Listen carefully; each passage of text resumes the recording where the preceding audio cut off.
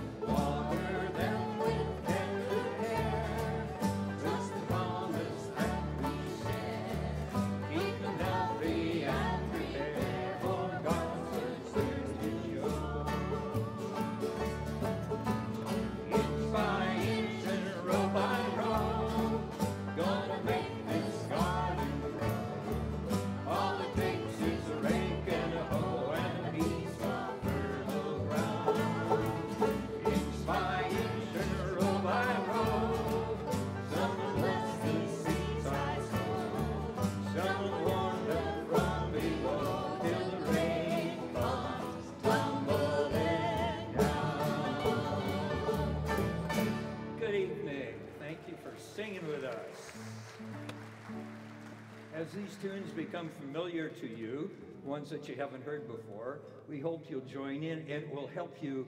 I know you're all really excited to hear Bill McKibben, and uh, he's in town and he's ready to uh, uh be here with us. But uh, we're going to pass uh, the time until 7 o'clock when the program starts. This is called The Time Is Now, and it was written back in 2007, but it's uh, still somewhat relevant today. Hear the sound of glaciers cracking, falling to the warming sea. Feel the temperature rise and no more time for compromising. Endless data analyzing. What more do we need? The time is now.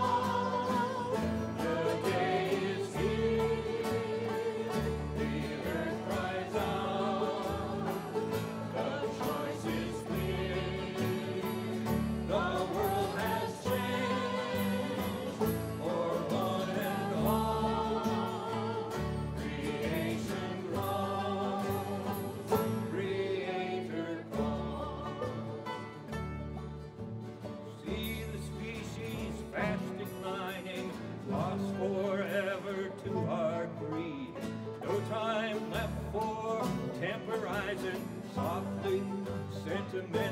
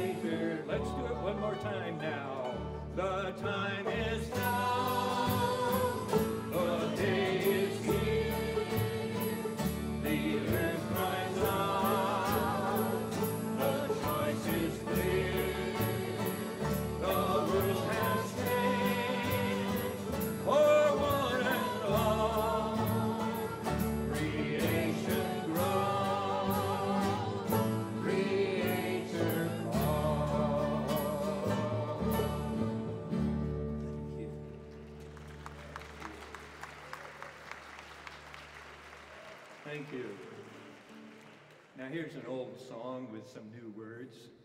A little later tonight, we're going to sing a Pete Seeger song with some new words also.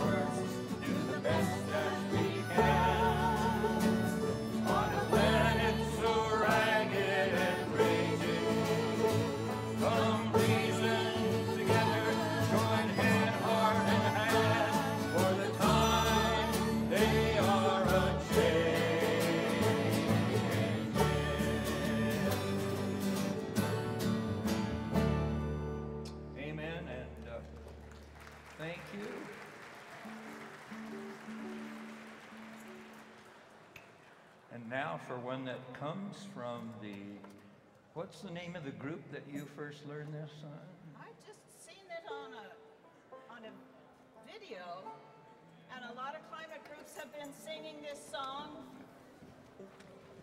So we'll try it together. Still got time. Can you hear me now?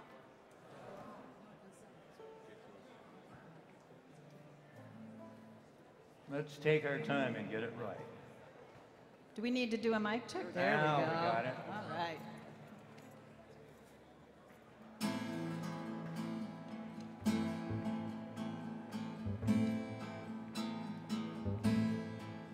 We need to wake up. We need to wise up. We need to open up our eyes and do it now, now, now.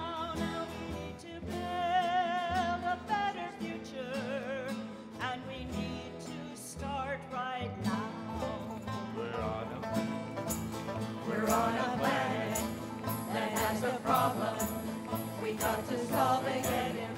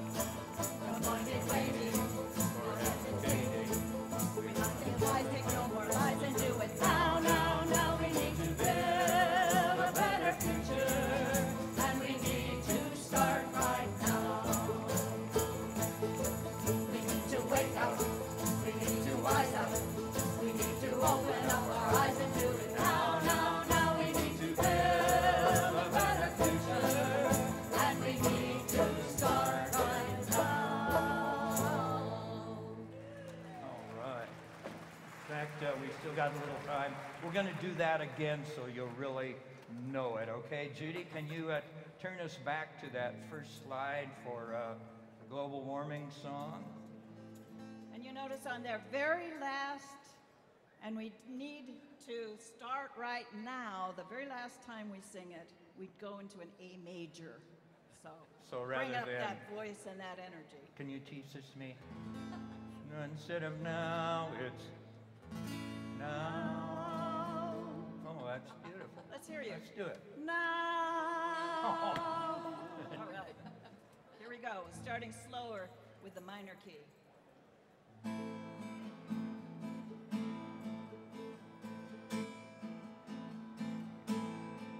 We need to wake up.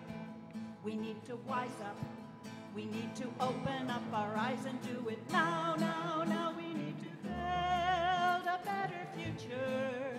And we need We're on a planet that has a problem. We've got to solve it,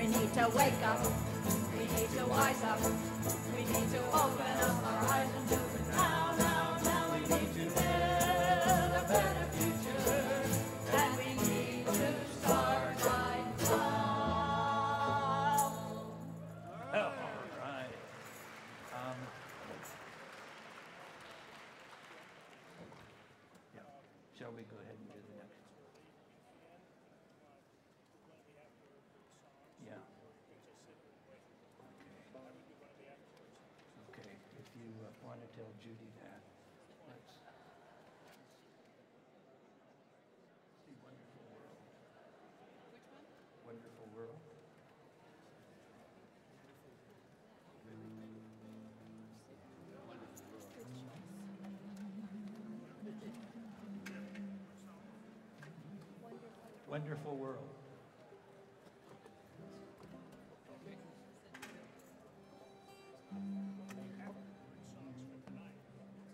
Pardon? Oh, okay. Um, God's counting on me.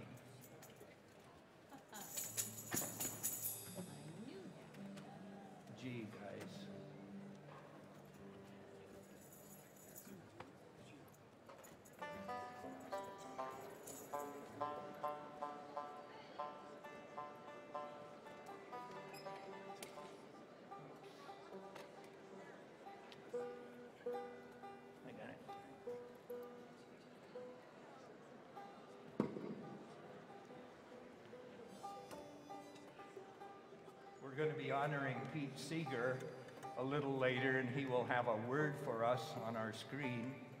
One of his most recent songs, if not his absolute finale, is called God's Counting on Me.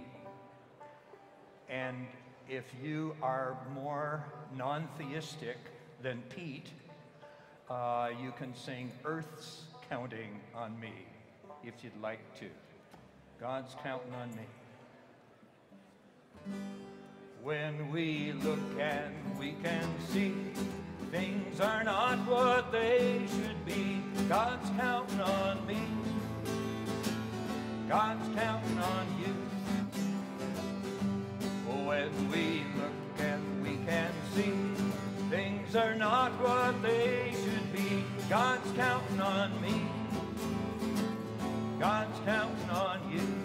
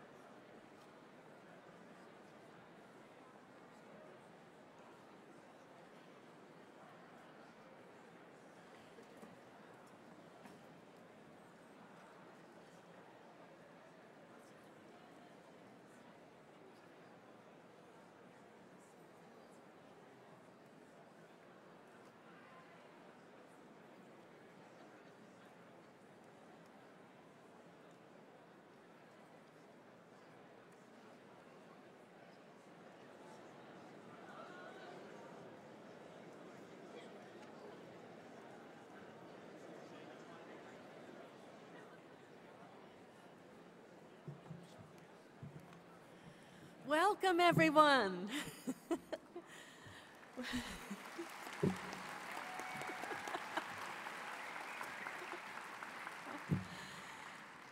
Thank you so much to the Pilgrim Pickers.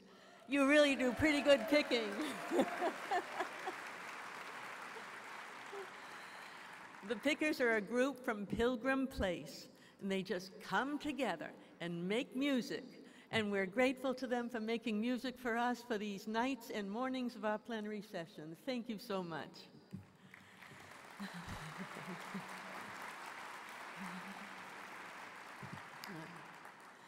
Well, my name is Marjorie Suchocki, and I am a co-director of the Center for Process Studies, and am privileged to be your MC for the evening plenaries of this wonderful Seizing an Alternative conference that we hope so much generates a movement where we work together for the betterment of this planet and its peoples and all of its creatures. I welcome you on behalf of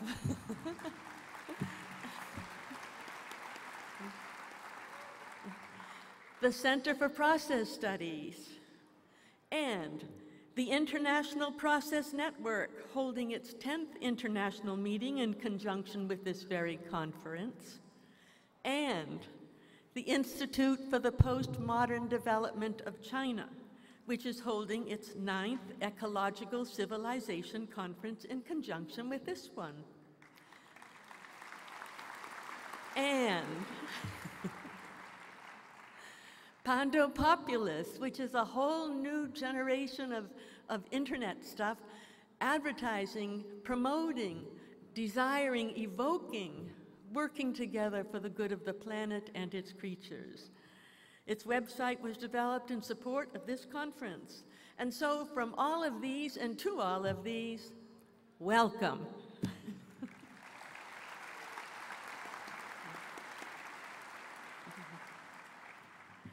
And now I am very proud and pleased to introduce you to a member of the Tongva tribe, Julia Bogany, who is member and elder of this tribe. The Tongvans have lived on this gracious land that we now call Southern California for centuries. And Julia Bogany is the Culture Program Director for the tribe, and we are honored and grateful to her, for she's going to bless this conference with an opening prayer. Julia?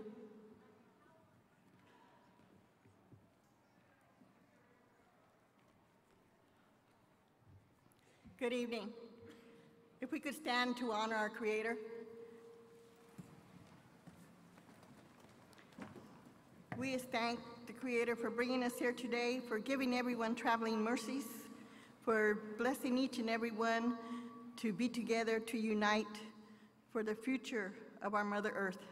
We thank him because he is so great to us and he has given us this chance to unite in these three days and to learn from each other.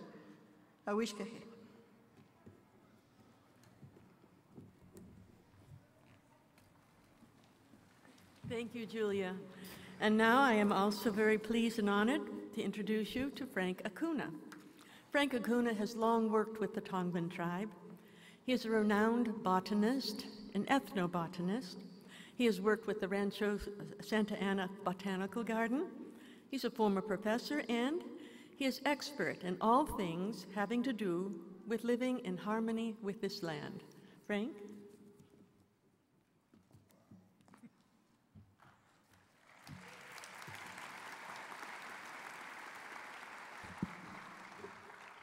Nechochan nene yehia.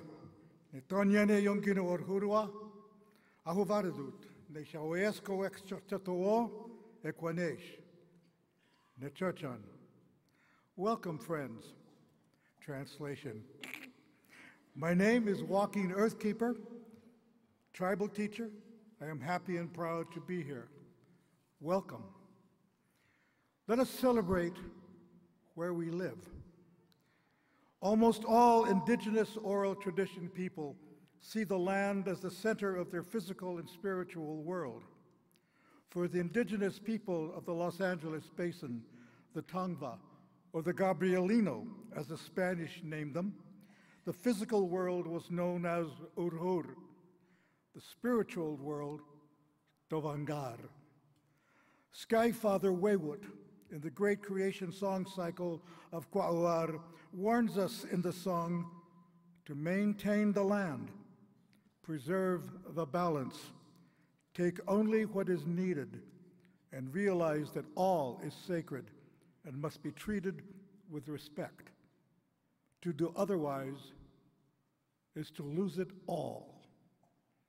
Earth Mother Chahuit sings, The world is not finished. All life is shared existence, for we are the pro- process of completing creation. We are. Manisad, the goddess of fertility, sings that when we were born, the world changed. Each one of us in this room, when we were born, the universe adjusted itself. When we were born, the world changed. We create the world together with the great deities of creations, goes the song. Damit, the sun god, sings that everything is waiting to be born, just as the sun is born each day. The moon god Moar asks us to accept the changes that she brings us. Even Tolmaluk, the great goddess of Shishongna, the underworld, sings that the world is not what we think it is. The four Torovim, the sacred dolphins that circle the world of Tovangar, celebrate life by reminding us that it is a joy to be alive and that to sing and dance is the way of prayer. And so we have come here to understand and celebrate with collective reverence this land, which we call Southern California, the Los Angeles Basin. And for us here today, this valley is a living, breathing, sensate being and is our center of identity. A few years ago, I taught a class at Pitzer College here on the culture of the indigenous people of the Los Angeles Basin and their relation to the land that's, that spiritual world called Tovangar. I asked my students to name and describe their center of place, their source of identity. Non Californians immediately wrote of East Coast seasons, winter snows, family walks in the woods. My Californian students seemed bewildered by the assignment. But they soon came to understand that their individual identity was tied to homeland. And so too it is with our lives in Southern California, here in Claremont, and with our neighbors, families, and friends. But many have either forgotten or denied their ties to the land, or have tried to recreate an ersatz Vermont, or Georgia, or Minnesota, or Rhode Island, and in the process have almost destroyed the glory that once was Tovangar. Others have created a sterile virtual reality that leaves us empty and spiritually bored in a seamless wash of lawn green.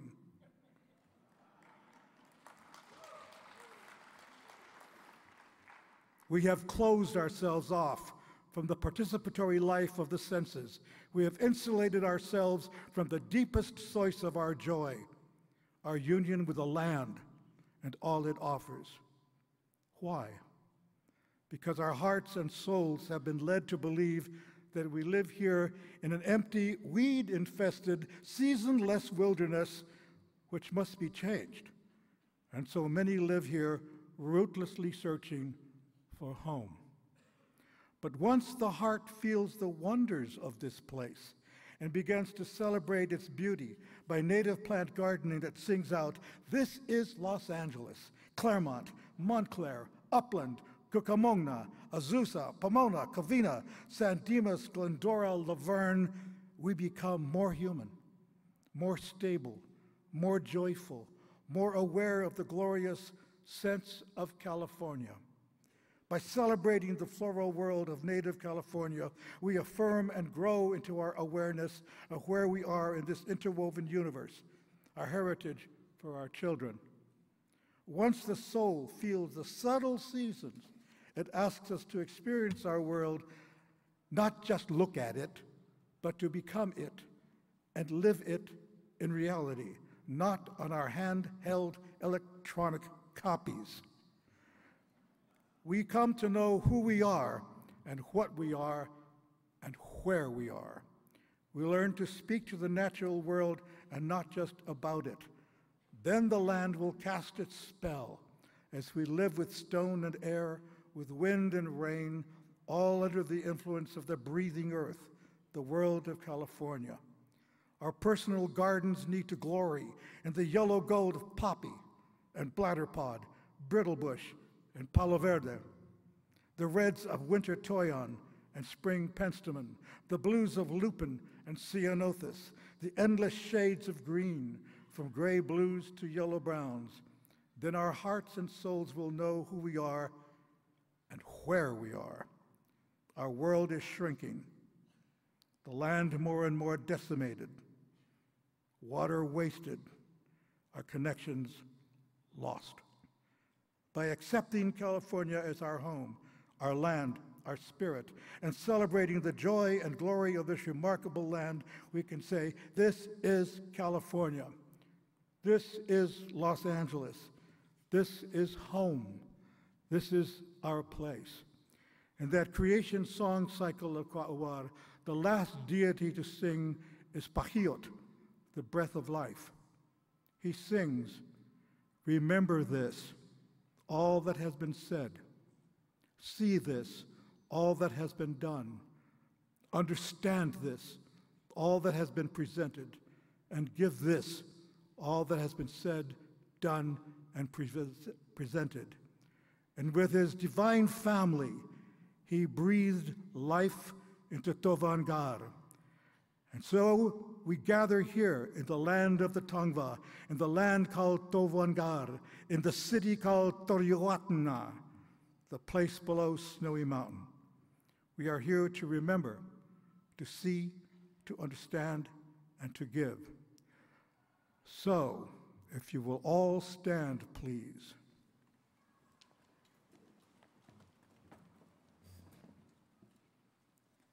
And with the divine beings and with Pahiot himself, let us all take a deep breath and hold it. Remember Pahiot. And as you exhale, not yet, together we will breathe life back into Tovangar.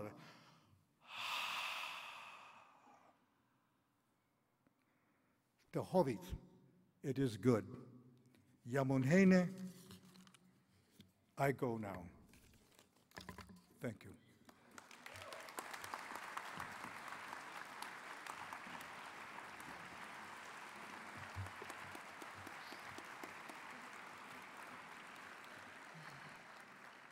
We are so grateful to both of you for what the gift you have given us this evening.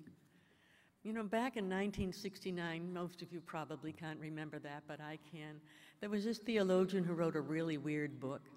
It had the title of Is It Too Late? Now, it wasn't published until 1972, but it probably was a bit late, even then. Is It Too Late? A Theology of Ecology. And John Cobb, back in 1969, awoke from dogmatic slumbers and began to worry about the earth. It's John Cobb's genius who has brought, uh, instigated this conference and gathered us all together. So I want you to welcome John Cobb as he gives you a word of welcome. John?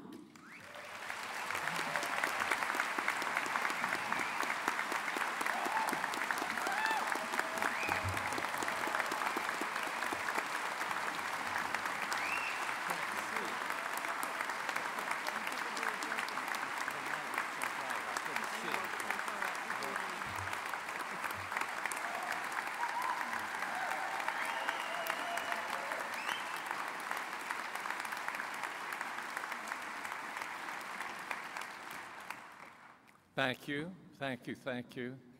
I thank you not only for welcoming me in this way, but for being a part of this event. It is a it has involved hundreds of people, maybe now I can say thousands, in order to begin with this in this auspicious way. So many people have given of themselves already for the causes and purposes for which we stand. And I am deeply grateful to our Tongva people for welcoming us to come in a place that was home for them for thousands of years before we could come. We come with sadness that our style of life, our way of thinking, our acts and our technology have brought to risk the land that supported them for so long when they lived in it in a human way. I hope that during this time together, we will recover something of the spirit that moves these people, moved these people so long, that they could be at home in a land that was beautiful and fruitful, and a land that will nurture us if we allow it to do so. Thank you for coming. May we all be blessed together.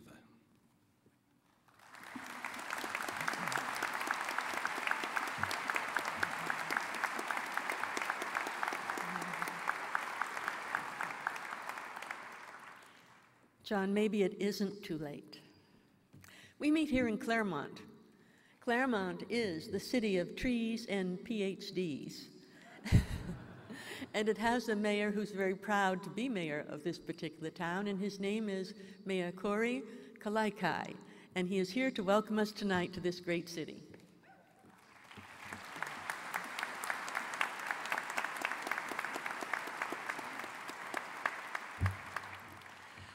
Well, distinguished friends and guests, good evening. It is indeed an honor for me to be here on behalf of our entire City Council, our Mayor Pro Tem Sam Pedroza, Council members Joe Lyons, Larry Schroeder, and Opanyi Nasiali. And on behalf of all of them and our 36,000 residents, welcome to the city of Claremont. We're very honored to host this conference, these, these respective conferences here this weekend. And uh, thank you. I hope those of you who are visitors will take the opportunity over your time here to, to tour our town and hopefully in the interest of economic sustainability, you will consider supporting many of our good merchants and restaurants here in the community, and we thank you in advance for your patronage. I hope that you will find that you have selected the right place for this conference. We are a community that values our heritage, our culture, and our environment. Up in the hillsides, if you even have the opportunity to tour it, we have over 1,800 acres of open space that will now be protected in perpetuity for watershed conservation and for people to enjoy uh, so that it will not be developed because we value our hillsides. Thank you.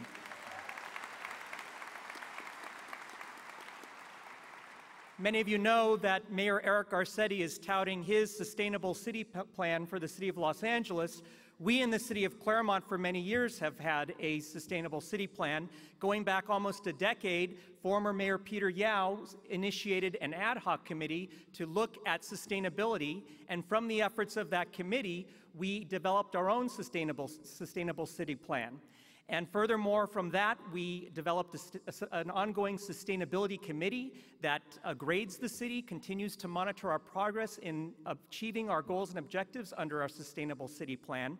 We also have groups that have developed from that that support us to include Sustainable Claremont and the Community Home Energy Retrofit Program. Both groups have done a lot to educate the community, and we've been recognized because of the number of homes in our community that have undergone home energy retrofits and we're very proud of that.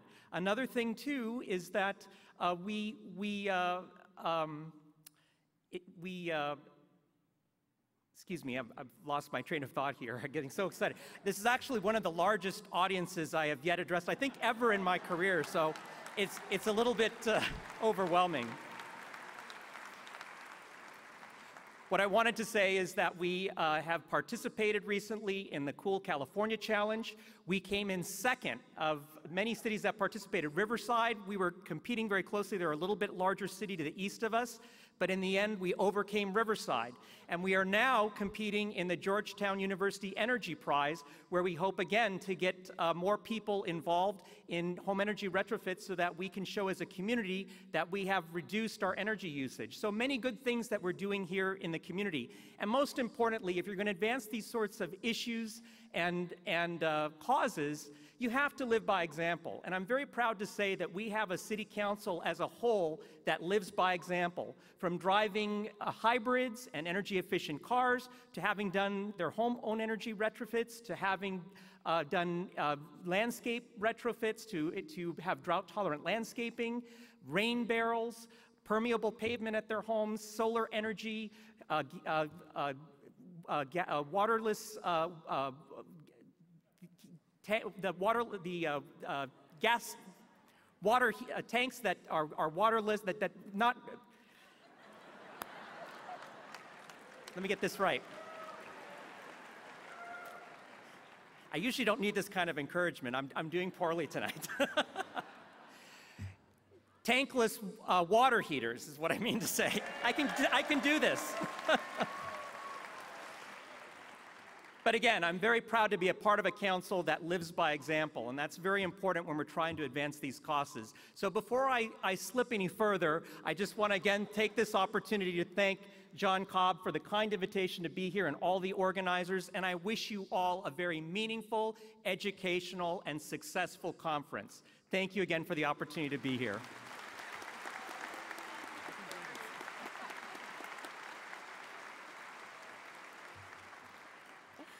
Well, my dears, we're not just in Claremont. We're at Pomona College in Claremont. Some of us have walked across this stage getting one degree or another. And to welcome us to Pomona College is Vice President and Chief Communications Officer Dr. Mary Lou Ferry. She's a native of the Pacific Northwest, a lifelong environmentalist. Much of her early work was spent in Washington state's politics and government. You'll appreciate that, Corey. She worked on legislation to preserve wild um, and scenic rivers, to clean up toxic waste, and to protect and restore important watersheds, wildlife, fish, and forests. Most proudly, she worked on the successful passage of Washington State's landmark Growth Management Act, and so we welcome her as she welcomes us to this Pomona campus.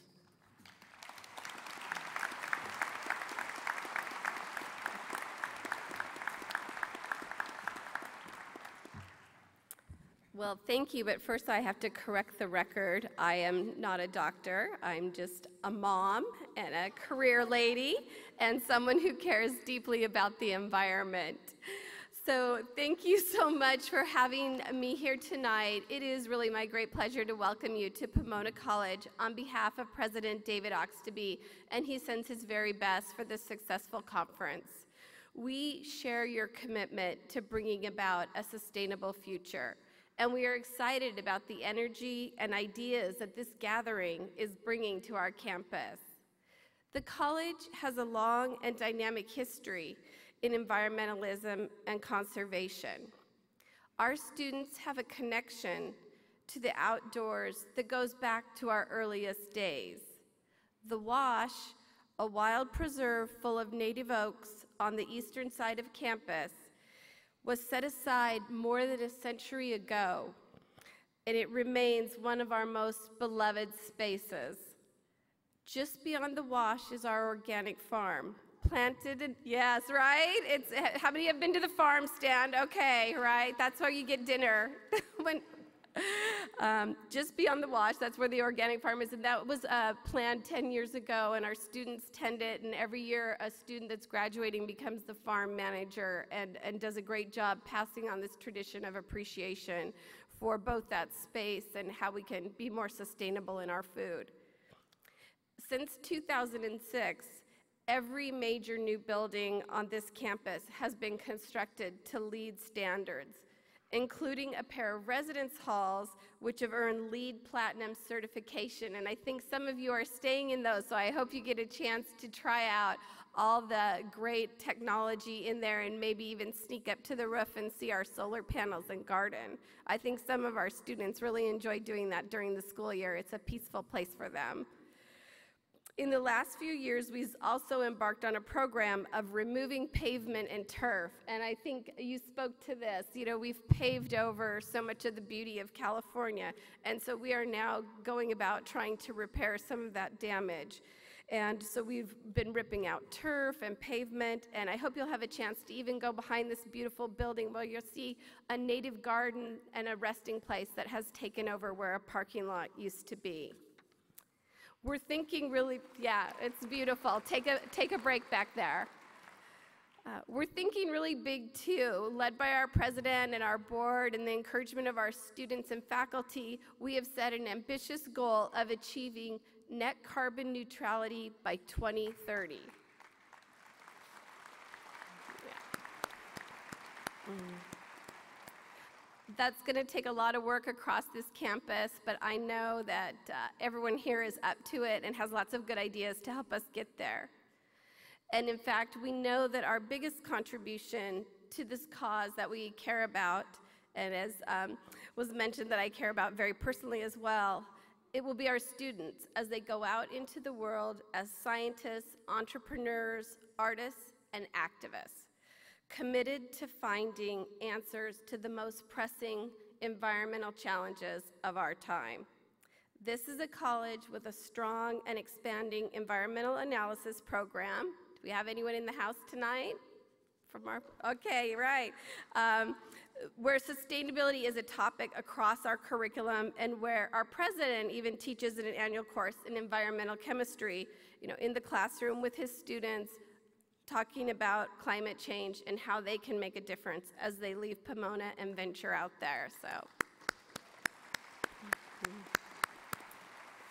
Over the next several days, we're really excited to hear the collective wisdom of this gathering. We've already got a taste of it tonight, so we're eager to learn from you and work together towards a healthier earth. Thank you for joining us, and we hope you enjoy your time at Pomona College.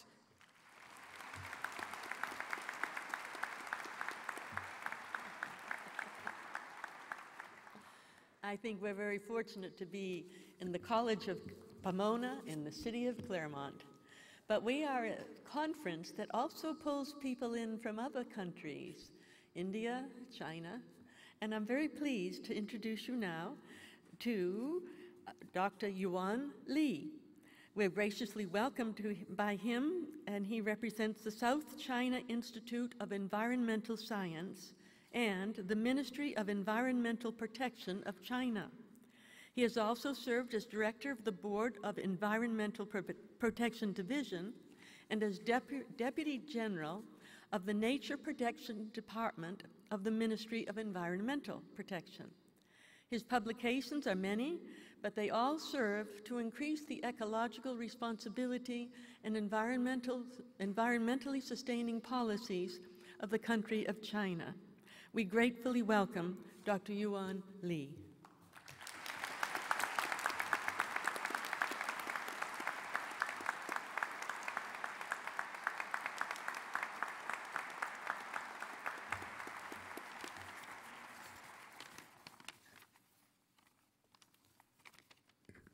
“尊敬的科布博士、各位嘉宾、各位代表，大家晚上好。”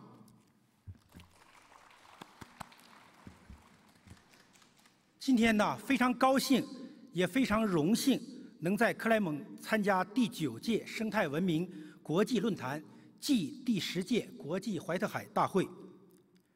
中国生态文明研究与促进会总顾问，中共中央。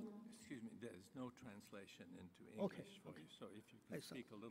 啊，我说英文哈，好好。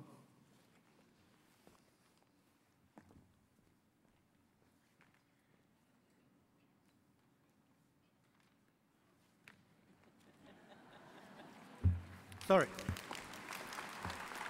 他们他们告诉我原来是有有这个英文翻译，所以我想用中文用英用中文说话。嗯，Today I'm very happy and glad opportunity to attend the ninth International Force on, E- on Ecological Collaborative and 10 International Whitehead Conference in Claremont. As the as the General Council of the China Council for the Research and Promote of Ecological Cooperation are, are from member of the Policy Bureau of the Country Committee of the Com- Com- Communist Party of China, a former Vice Premier, Minister of the State Council of China, and the Vice Chairman of the Standing Commi- Committee of the Nine of Ninth Nation People's Congress of China, Ms. Jiang Chunyun, uh, cares much about the convention of the conference and interest me and interested me with, with his counselor letter in which Perth only by conference and I depart to nature, repatriate nature, protection nature, and take the invitation in the re- return to nature in the harmonious way can, can the human being strand into the west air of ecological cooperation. Please allow me to express the warm confrontation to the conference on, on, beh- on, on behalf of Mr. Jiang, Jiang Chunyun and the Minister of Environmental Protection of China.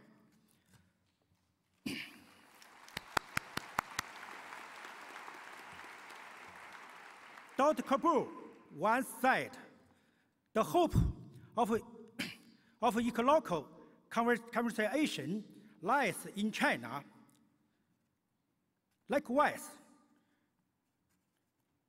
like, likewise, Chairman Xi Jinping agrees that the world is the world is marching toward the committing of a human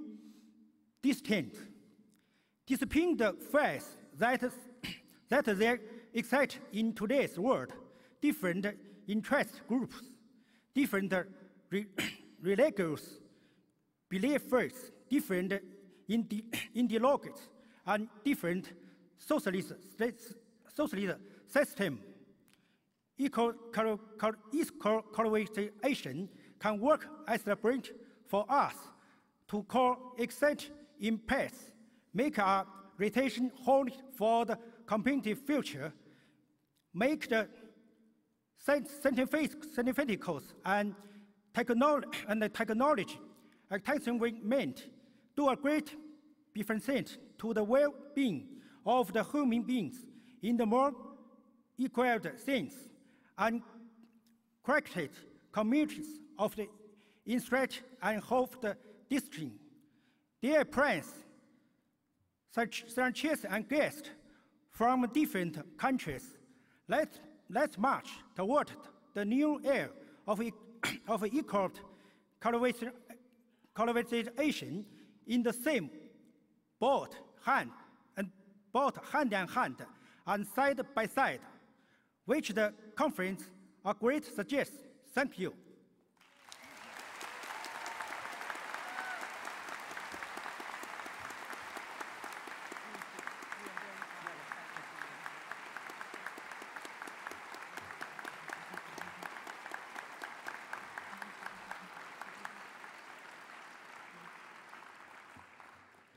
We are so honored by the presence of these international scholars here at this conference. We're very grateful to you, Dr. Yuan Li. Now, now we have that special event of the evening. When John Cobb first began to envision this conference, this movement, this hope toward working together with many peoples from many countries toward the good of the earth, he knew we needed music, yes? And who else but Pete Seeger? And of course, the Pickers. So he approached, he approached Pete Seeger, knowing of, of, of his interest in Whitehead, and asked if he would be able to be with us. Well, actually, he was in his 90s, which doesn't stop some people, but, um, but Pete Seeger felt that he, he could not commit so far away, and, and in fact, of course, he died last year. But he did make a film. He said he would make a video for us and sing a song for us and with us. And so we have that song now. We have that tape from Pete Seeger now. And we listen to it, watch it, and then join him and the Pickers as the Pickers lead us in singing the song for Pete Seeger.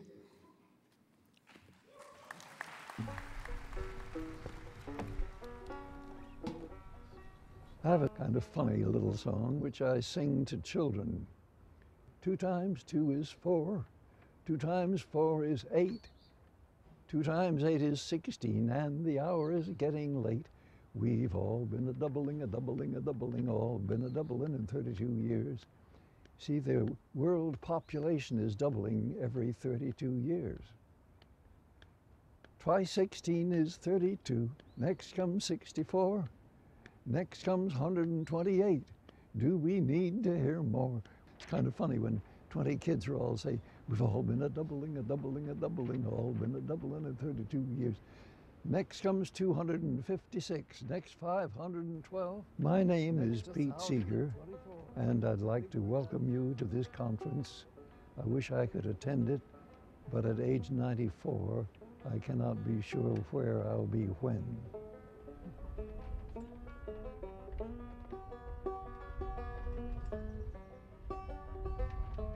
When I was at Harvard briefly in 1938, I, uh, my older brother was taking a course in philosophy from Professor Alfred North Whitehead. And he said, Pete, just come listen to this guy. He's, he's, he's really extraordinary.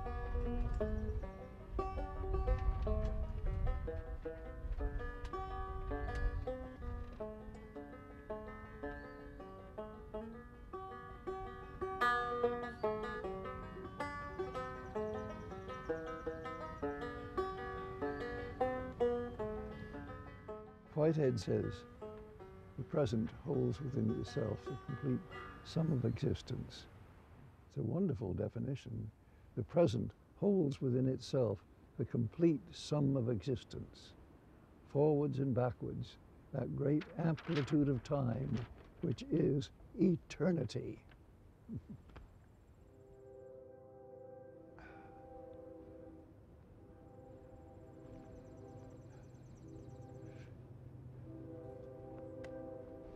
If I come out a few minutes before the hour, that's when the train to New York comes down and it aims right here, right at us.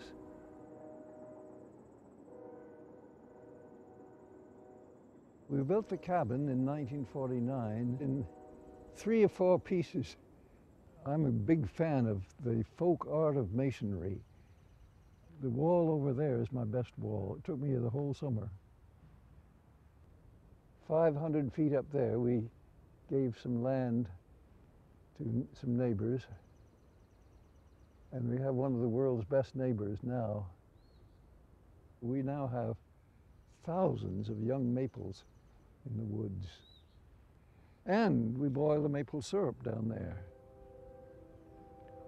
I understand Eugene, who's the friend we're doing this on behalf of, uh, had uh, said he would love it if you felt comfortable with singing Where Have All the Flowers Gone?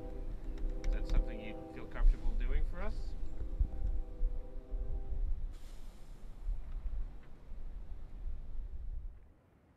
I'll get my banjo. So after Whitehead died, out came a little book called Conversations with Whitehead. And at one point, it describes Whitehead clenching his brows and clenching his fists, trying to think of the right word, and finally says, the process is the actuality. to understand anything, understand it as a process in motion. Where have all the flowers gone? Long time passing. Where have all those flowers gone? Long time ago. Where have all the flowers gone? Girls have picked them, every one. When will they ever learn? Oh, when will they ever learn?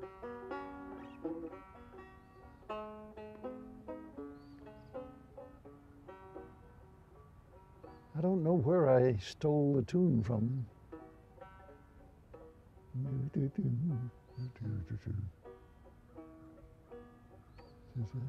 Oh, I remember now where I swiped the melody. An Irish lumberjack song. Johnson says he'll load more hay. Says he'll load ten times a day. and I just slowed it down. Where have all the soldiers gone? Long time passing. Where have all the soldiers gone? Long time ago. Where have all the soldiers gone? Gone to graveyards, every one. When will they ever learn? When will they ever learn? And where have all the graveyards gone? Covered with flowers, every one.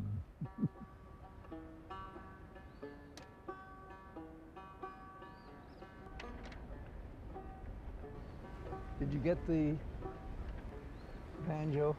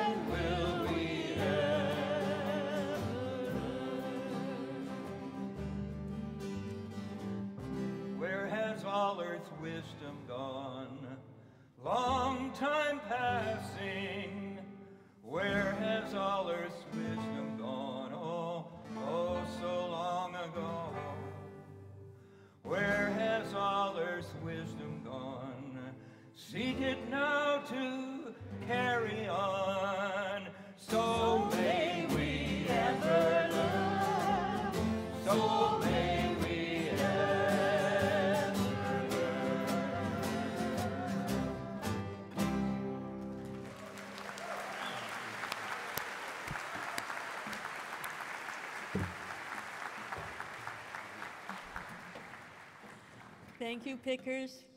Thank you, Pete Seeger. Enjoy.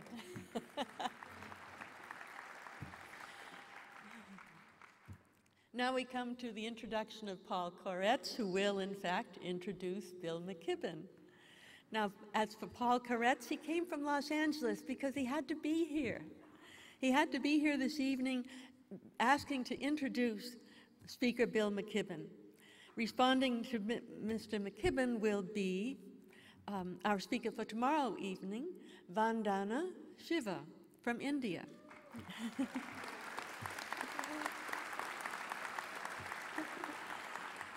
She is an environmental activist from India, and you will hear a longer introduction to her tomorrow because she certainly deserves one. She will be responding tonight to Bill McKibben's address.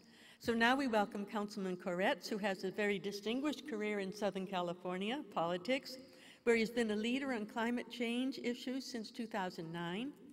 He was integrally involved in the city's move to divest itself of coal fired power plants, the first by mid 2016, and in instituting Los Angeles' historic solar feed in tariff program. He co authored the city's zero waste commercial waste hauling policy, which will institutionalize an organics recovery program to create compost, reduce methane emissions, and create healthy carbon sequestering soil as an end result.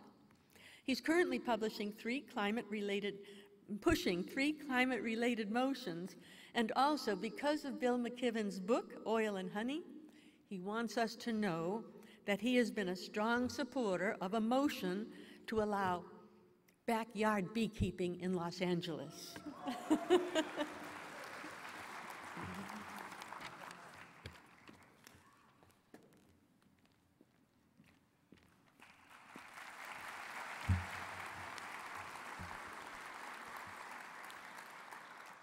Well, thank you. That was such a nice introduction. Maybe I should just quit while I'm ahead. And I'm a little nervous too, like the mayor said. I've never been in a room with this many environmentally concerned people, which is really exciting. Let's give ourselves all a big hand for that.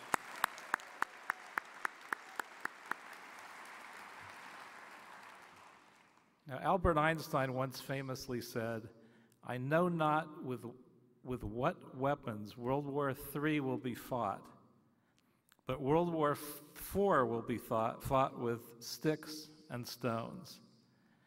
We now know which weapons are being used in World War III propaganda, lobbyists, PR firms, and special interest money.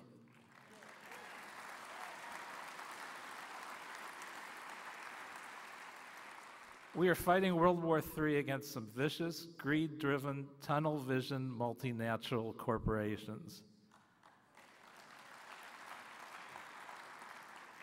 And there have been a number of front lines in this climate war New Orleans, Myanmar, the Horn of Africa, Pakistan, Alberta, the Maldives, the Philippines, Sedona, and most recently, Texas, which flooded.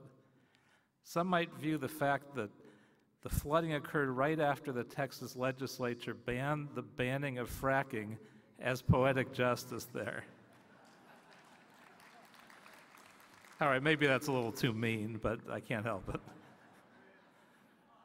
Now the front lines of climate change have moved to Los Angeles. I sit on the board of the Metropolitan Water District, which provides water for Southern California, and I get weekly briefings on the drought. And I'm here to tell you we're in bad shape. If we were to be really honest, it's not actually a drought at all because droughts end. This decades long warming trend in the high Sierras has begun to make it impossible for us to store our water as snowpack any longer. This is the new normal. Climate change is not only here, it's here to stay.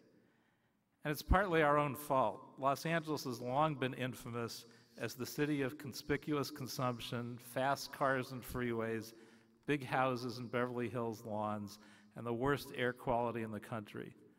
But we've started changing course. In recent years, we've been doing things differently, like getting the city moving off coal power, uh, banning plastic bags, launch, launching a feed-in tariff uh, solar program, approving urban agriculture incentive zones, and now we are ripping out lawn after lawn. And I'm working to see that we replace them with rain gardens and native plants to support our struggling bees and butterflies.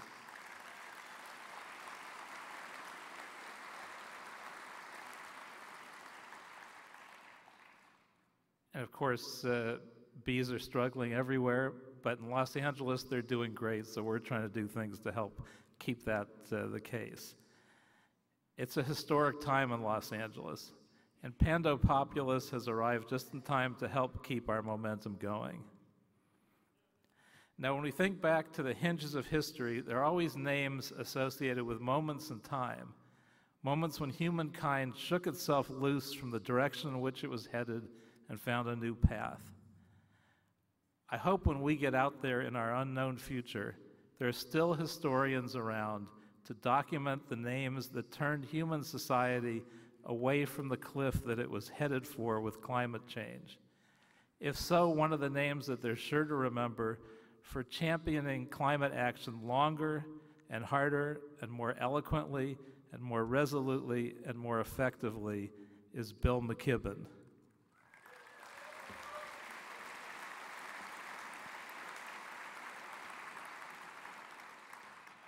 And if they are still around to remember him, it will be because somehow, some way, we won this war and we were able as a planet to turn our carbon dioxide emissions back towards 350 parts per million.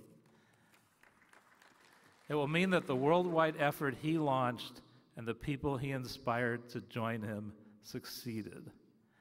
The genius of Bill McKibben and his books is just as he's telling you how we're ending nature, he makes you love it even more in seeing it through his own eyes. From his descriptions of the Champlain Valley from atop Mount Abraham in Vermont to the woods of the Adirondacks to his descriptions of bees and beekeeping. The genius of his climate activism is that when the group he founded, 350.org, calls for an action, people from 188 countries around the world join in, including me, probably including all of us here. With the amazing work he's done on climate change and all the emissions reductions he has inspired, he is probably on his own ExxonMobil's personal carbon offset. so, if climate change has truly put us in the middle of World War III, I'd like to introduce you to our general. Please welcome Bill McKibben.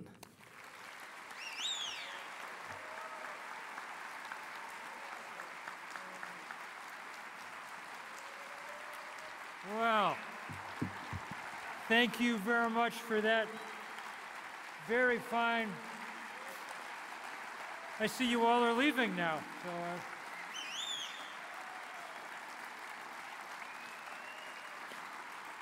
I don't blame you a bit. Look, it is a terrific pleasure to be here with you.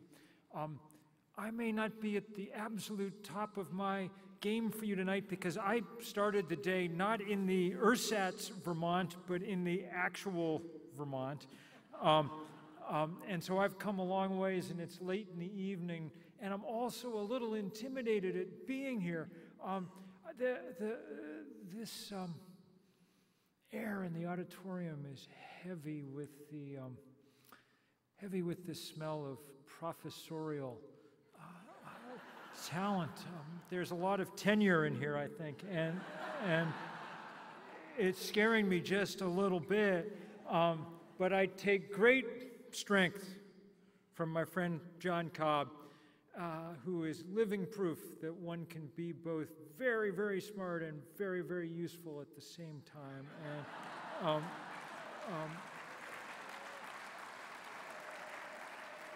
and he's why I said I would come out to be here, and I'm awfully glad that I did. Um, I'm always conscious of the fact that I'm wandering into these situations where everybody is, where there's beautiful music. Boy, and what fun to see my old friend Pete Seeger talking from beyond the grave was a really amazing and moving moment. Um, wandering into these situations where there's great music and great spirit and great feeling and great and and my job is just to bum everybody out. Um, um, but I will do that. I will make that my role, at least at the beginning tonight, just in order to kind of try and set the scene for this um, few days. Uh, um, because we are here not for any intellectual excursion, because we live in the midst of a deep, immediate, practical crisis, probably the greatest crisis that human beings have ever wandered into.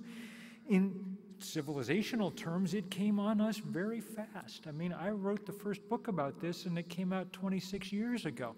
Um, we've known about climate change in real terms for about a quarter century.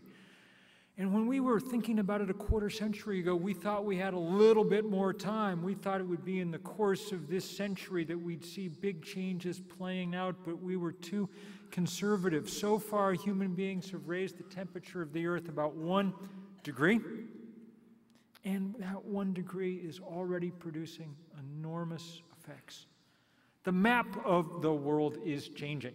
If you look at the world from space in summertime, the Arctic looks entirely different than it did 30 or 40 years ago. We've lost as much as three quarters of the summer sea ice in the Arctic, one of the world's great physical features, all but gone. The chemistry of the world is changing. We're an ocean planet. And those oceans are 30% more acidic than they were 40 years ago because seawater absorbs carbon from the atmosphere and its chemistry shifts, and those shifts in chemistry make it very, very hard for the creatures at the bottom of the marine food chain to make their living. The color of the world is changing. Um, you know that the snowpack up in the Sierras is gone, but the same is true up and down this continent. There was a story yesterday talking about how snow across the northern hemisphere has been steadily retreating. And as a result, the albedo of the earth, its reflectivity, is shifting and shifting in dangerous ways. What I'm trying to say is the most basic facts, the biggest physical features on this earth are now influx, and influx for the first time in our civilization's history.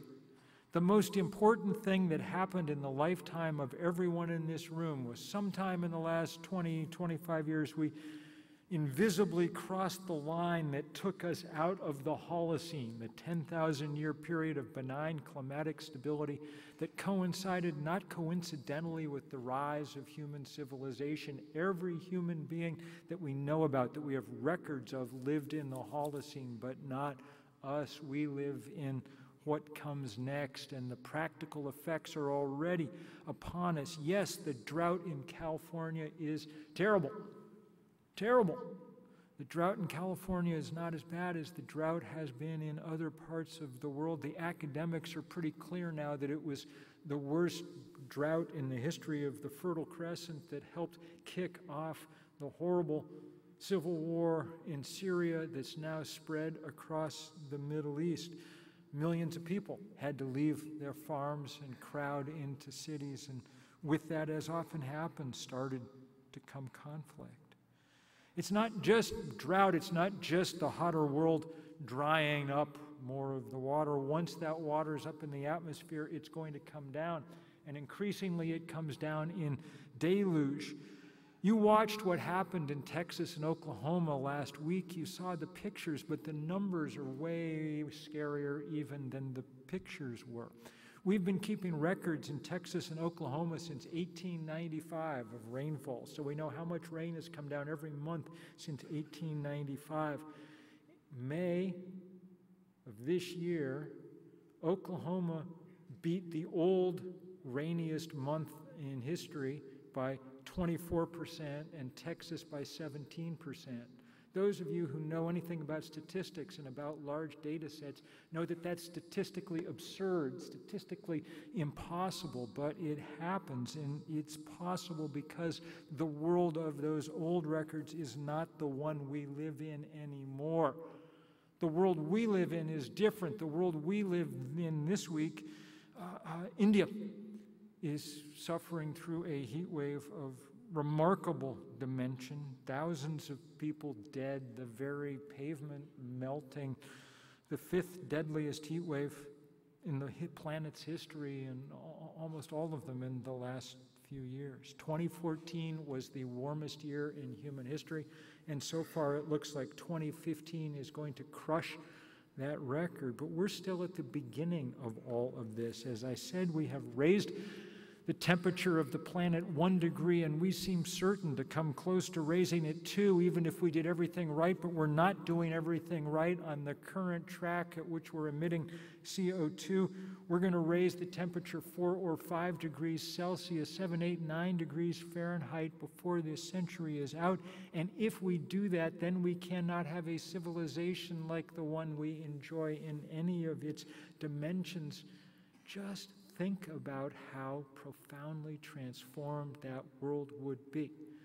Temperature has gone up one degree, and already it's incredibly difficult to carry out agriculture in places like California. Imagine what it's like if we just keep going up and up and up.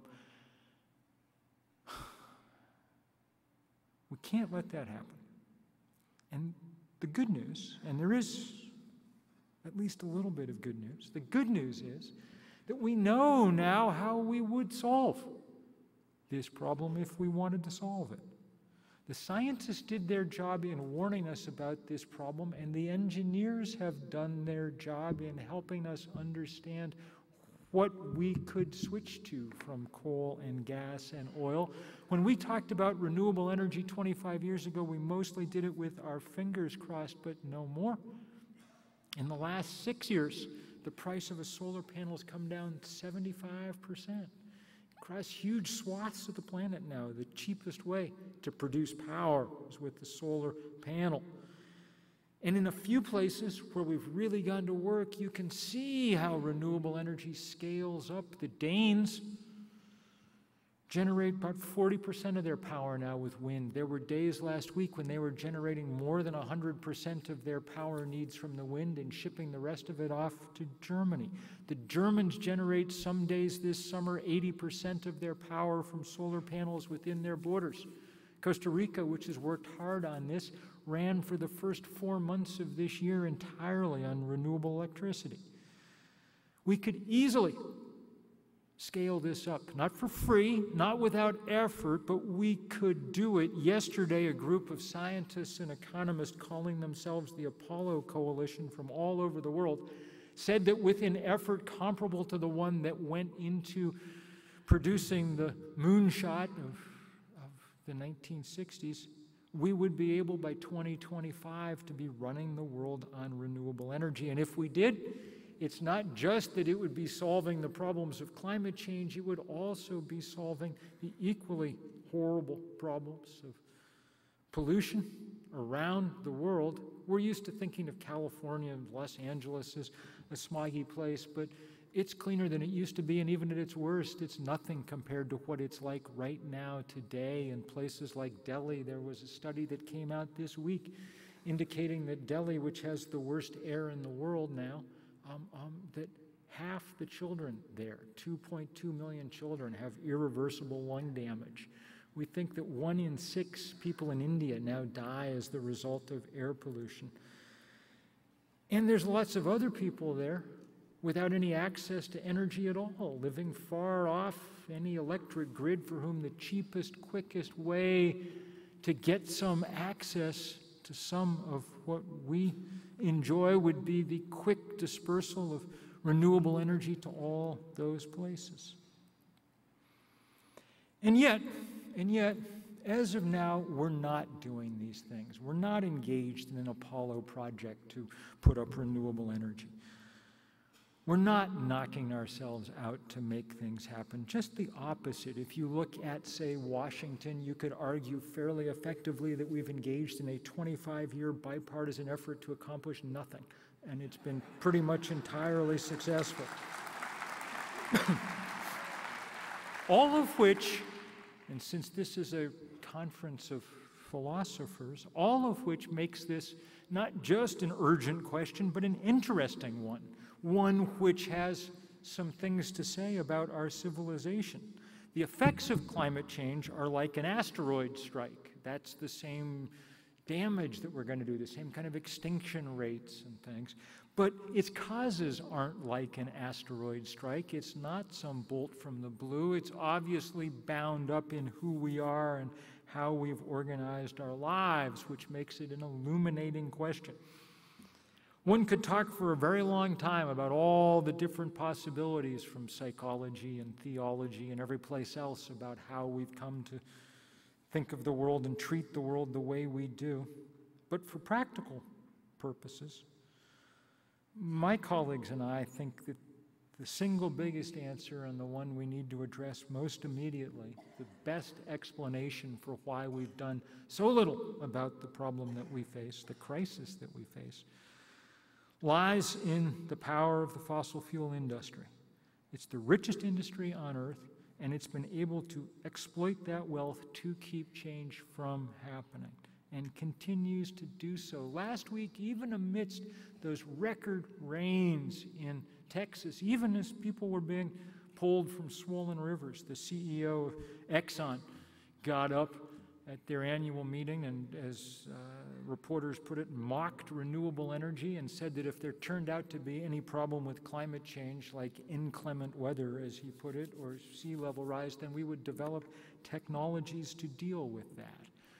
Um, Shell dumped all its solar and wind investments over the last few years. Instead, in the single greatest act of um, greed fueled irony that the world has ever seen, Shell is leading the charge up north, having melted the waters of the Arctic.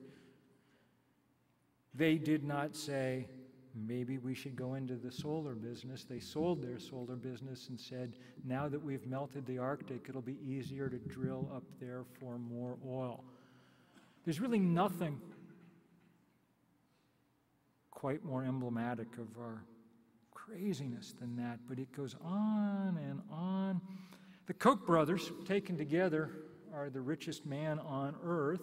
They've made their money in oil and gas. They're the biggest leaseholders up in the tar sands in Canada. They've announced they're going to spend $900 million on the next federal election in this country. They'll spend more money than the Republicans or the Democrats, Koch brothers, party of two. And they will spend it to make sure that the status quo remains in place. Left to their own devices, all these guys are able, I think, to delay change long enough to break the planet.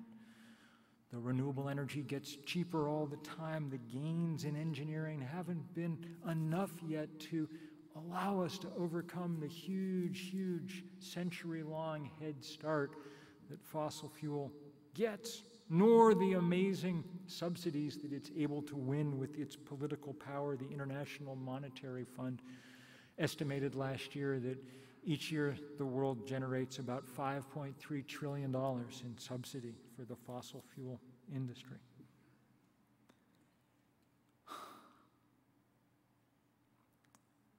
What's interesting for me is the question of whether these guys are beatable. And if so, how? And I think, though I don't know, I think that they are. It's going to take a very different kind of movement than we've ever seen before, but that's beginning to form.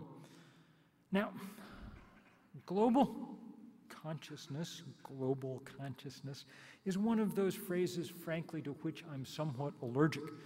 Um, it sounds kind of hippy dippy. Uh, on the other hand, this is the first truly global problem that we've ever faced, and our elites are not solving it, our systems are not working, and so we are going to need a global grassroots movement. They have most of the money, lacking it, we need another currency. And the only currency we have to work with is the currency of movements, passion, spirit, creativity. So let's, let's talk about these things. I'm going to try and show a few, see if this works.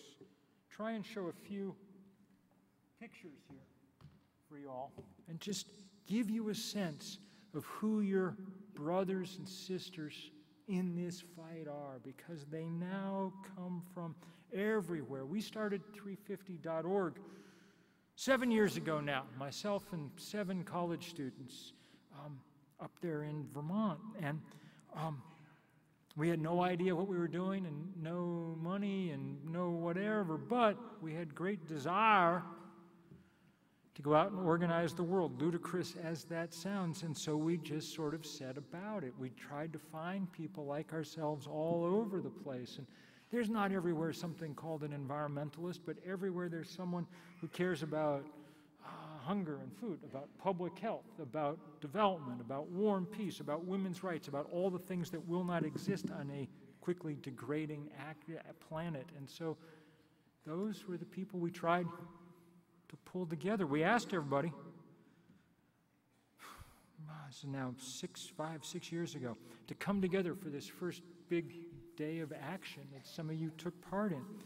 We picked almost at random a, a, a weekend, a Saturday in the fall, um, at least fall in the northern hemisphere, and um, we didn't know how it would go.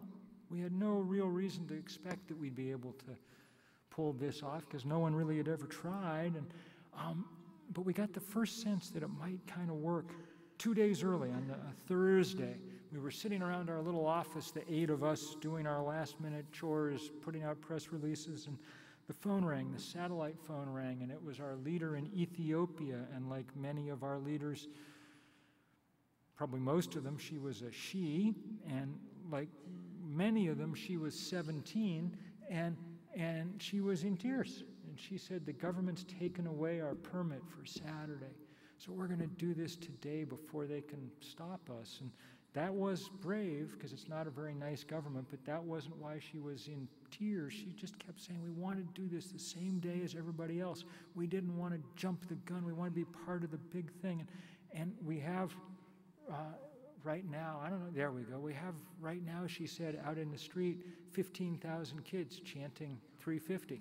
Okay, so we were like, Luau, don't worry about the date. It's okay. Um, um, and it was okay. And, you know, we went on to organize very quickly. That, that, that weekend, there were 5,200 demonstrations in 181 countries around the world. CNN described it as the most widespread day of uh, political activity in the planet's history.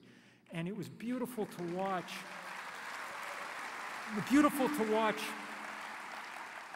for me, because I'd always heard this thing that environmentalism was something that rich white people did, and if you didn't know where your next meal was coming from, you wouldn't be an environmentalist, and on and on. And it took about 10 minutes of watching those pictures, which I hope we can keep showing. Yes, watching those pictures, we don't need to look at me. We, uh, watching those pictures come in from around the world, for it to be entirely clear to me anyway, that most of the people we were working with were poor, black, brown, Asian, and young, because that's what most of the world actually consists of.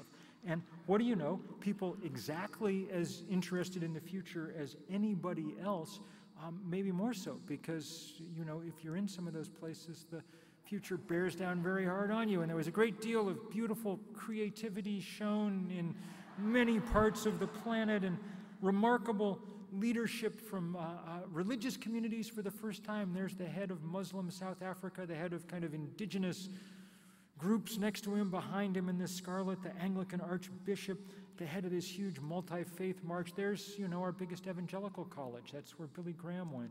Uh, I'd been to the Middle East to do some organizing, not an easy place to get to, obviously. Uh, you know, in Bethlehem, there were barriers everywhere. We were trying to bring together people from all sort of countries, but uh, because the Dead Sea is shrinking so rapidly as, as it warms, but there were too many armies in the way, and so the Jordanians said, We'll make the big three on our beach, and the Palestinians said, We'll do the five on ours, and the Israelis took care of the zero on their shore, and it was beautiful. And there were 300 big demonstrations across China, which was really important. And those are our brothers and sisters in the Maldives, illustrating the existential problem that comes when the sea begins to rise, as it is now rising. That's the Student Government Association holding their meeting in the lagoon. Um, um, um, this is paradise, the Maldives, you know. It's, um, Vandana, you've probably been there sometime. It's the most beautiful, one of the most beautiful places in the whole world. Um, uh, uh, uh, all islands, archipelago, 1,200 islands strung out across the equator in the Indian Ocean. Um, the only problem with the whole place is that the highest spot is about a meter and a half, two meters above sea level, which is a hell of a bad place to be in the 21st century. But they're working like crazy. Everybody working like crazy. This was the biggest story on Google News for about 36 hours, and I always thought that it was because most of the demonstrations didn't, most of the people didn't look the way that, that editors thought environmentalists were to look like. So there's Yemen, which is as tough a place as there is in the world, and that zero is all women in full black burqa. So to us, they don't look like, you know, the local chapter of the Sierra Club, but their hearts are in exactly the same place. They're thinking not about themselves, but about the future, about the community. Uh, the same all over the world. There were three or four hundred pictures that ended up in a file just marked 350 adorable. Um, and they were indeed adorable. And they were also really hard to look at. Look, those girls are likely to be refugees before the century is out and not through anything they've done. So we've kept up this kind of stuff. We think we've organized about 20,000 of these demonstrations all over the world in every corner of it, and it's been beautiful and fun and work that I really love. Um, um, and we'll keep doing it. Um, um but you know what? Um, at a certain point, at, we've even done these huge art projects. They call them the biggest art projects in the world. So many people, you had to get sort of satellites to, to take the picture. There's a picture from Santa Fe of one of the dried out riverbeds they have there, just like they do here. But when the um, satellite came over, a few thousand people flung blue blankets up overhead just to bring it back to life for a minute. And that's a, it's a beautiful picture. I kind of wish we'd just keep doing that work forever and ever. Um, and I think if we had 50 years to solve this problem, that's what we would do because it's kind of education in action and beautiful to do. But we don't have 50 years. We, we basically we had to start 25 years ago, you know, if we were going to deal with it, solve it. And so instead, we've tried very hard to learn how to kind of up the ante, raise the stakes, become not just educational but confrontational and, and pretty fast. Um, so, there we go. Um, some of you have um, followed, for instance, these fights that have sprung up around uh, uh, infrastructure around the world. We kind of began it in a sense in 2011 with the fight about the Keystone Pipeline. Now, this fight had been going on for a little while already, waged by our indigenous brothers and sisters on both sides of the border in this continent. The rise of kind of First Nations environmentalism is one of the great stories of the last three or four years, and it's one of the things that's just propelling this movement forward so fast. I'm on my way to Minnesota tomorrow to march with a lot of Native Americans working on big pipeline things up there in the upper Midwest. But, but that, that, but that pipeline was going to go through like all pipelines have always going to have always gone through. It was an absolutely done deal. There was a poll of energy insiders in Washington in 2011, that summer, uh, 300 energy insiders, lobbyists, committee staff, things, and 91% of them said that TransCanada would have their permit for the Keystone Pipeline by the end of 2011. But then Jim Hansen at NASA put out a paper saying there's so much carbon up there in the tar sands that if you burn it all, you'll never get the climate under control. And then people began to come out of the woodwork to fight. That's what that picture is of. It's of the beginning of what became the largest civil disobedience action about anything in this country in about 30 years. 1,200 and some people went to jail. I bet a few of them are in this room tonight. And it was beautiful. And, and then it started spreading all over the world. And, uh, you know, uh, uh, back to Washington. And a month later or two months later, we were ringing the White House with thousands upon thousands of people standing shoulder to shoulder all around the White House. And, and that was in 2011. And right about then, Barack Obama said, okay, maybe we should put this on hold for a while, at least until after the next election. And he did, and then we kept fighting, and so he kept it on hold through the next election after that. Um, that's been a lot of elections now, and it's been better part of four years. Four years when we've been able to keep, thanks to the work that y'all have done, eight or nine hundred thousand barrels a day of the dirtiest oil on earth underground. We're causing big financial problems for the people up in the tar sands by doing it. Uh, uh, three huge projects were canceled last summer, even before the price of oil began to fall, because the companies that were thinking of building these big new expansions knew that they had no real way to get this stuff to market. Now, Canadian people, led by First Nations people, have blocked the route that goes to the west, to the Pacific. Now they're blocking the route that goes to the east. We hope that we're going to win this Keystone fight sometime in the next few months, but we don't know. We do know that by doing it, we've been able to launch a kind of groundswell of action against every kind of bad fossil fuel infrastructure. There was a speech last week by the head of the American Natural Gas Association who was talking to his industry and saying, We have somehow got to stop the keystoneization of every pipeline in the country. Um, that was music to my ears. They are never going to build one of these for free again. Um, we are going to we are going to stop we're going to stop planned coal ports along the Pacific Northwest. There were six of them proposed three years ago. We've already beaten four of them, and the other two are going to fall. We're going to stop. Um, we've already watched amazing organizing bring fracking to an end in New York State, and we are, we are determined. We are determined to bring fracking to an end in California. So it so it no longer mars the environmental record of this state. Let me just say if you want the definition of obscenity, it's in the middle of a drought to be taking millions of gallons of water and putting it in a hole in the ground in order to produce more oil that will make the next drought worse. Um, so there are these huge battles going on, and they're going on everywhere. I was talking this morning with my colleagues in Australia who are battling this huge mine, uh, the biggest coal mine in the world if it gets built in the Galilee Basin. But I think we're going to win there too. And there is just beautiful in every corner of the world. Um, we calling it keep it in the ground, you know, this understanding that we can't build these huge new fossil fuel things that will keep us hooked to this stuff for another few decades. But, man, it's like playing whack a mole. It's too many of them all the time. If that's all we do, eventually we're going to get overwhelmed because they just keep coming. That's why, instead of just playing defense, we're doing our best to play offense too to push back hard against these guys. That's what this divestment movement that we started a couple of years ago was about.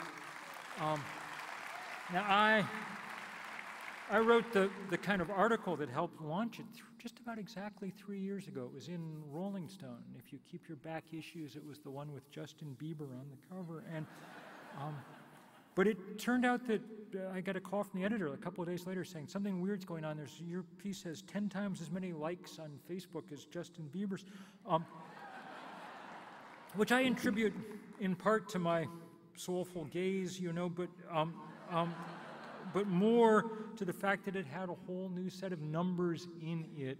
I was working with this data that had just come out from some financial analysts in London who'd done something we should have done long ago. They added up how much fossil fuel, how much carbon the fossil fuel industry already had in its reserves, the coal and oil gas it had mapped and announced that it would plan to burn. And it turns out that there's about five times as much carbon in those reserves as would take us past the two degree red line limit that's the one limit the world has ever set.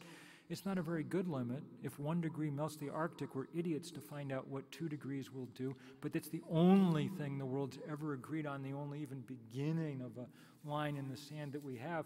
And at the moment, if we follow the business plan of the fossil fuel industry, we are going to soar past it. They've got five times as much.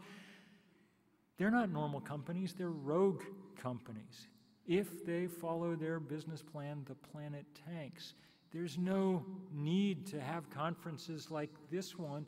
The end of the story is written, at least it's written in their promises to their shareholders and their lenders and things. Unless we can change that script and change it fast, then this isn't going to work. But we are changing that script, at least as fast as we can. Um, this divestment movement has turned into an enormous crescendo began small the first few months, a few sort of environmental colleges and things in far flung corners of the world.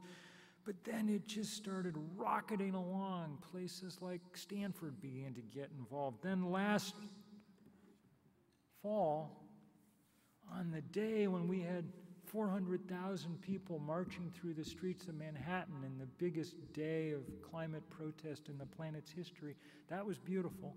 And just as beautiful was that evening when Uptown, the representatives of the Rockefeller family, announced that they were divesting their philanthropies, billions of dollars, from coal and gas and oil. And that's pretty amazing if you think about it. There's there's the first, the first family of fossil fuel, okay? The, the original oil fortune.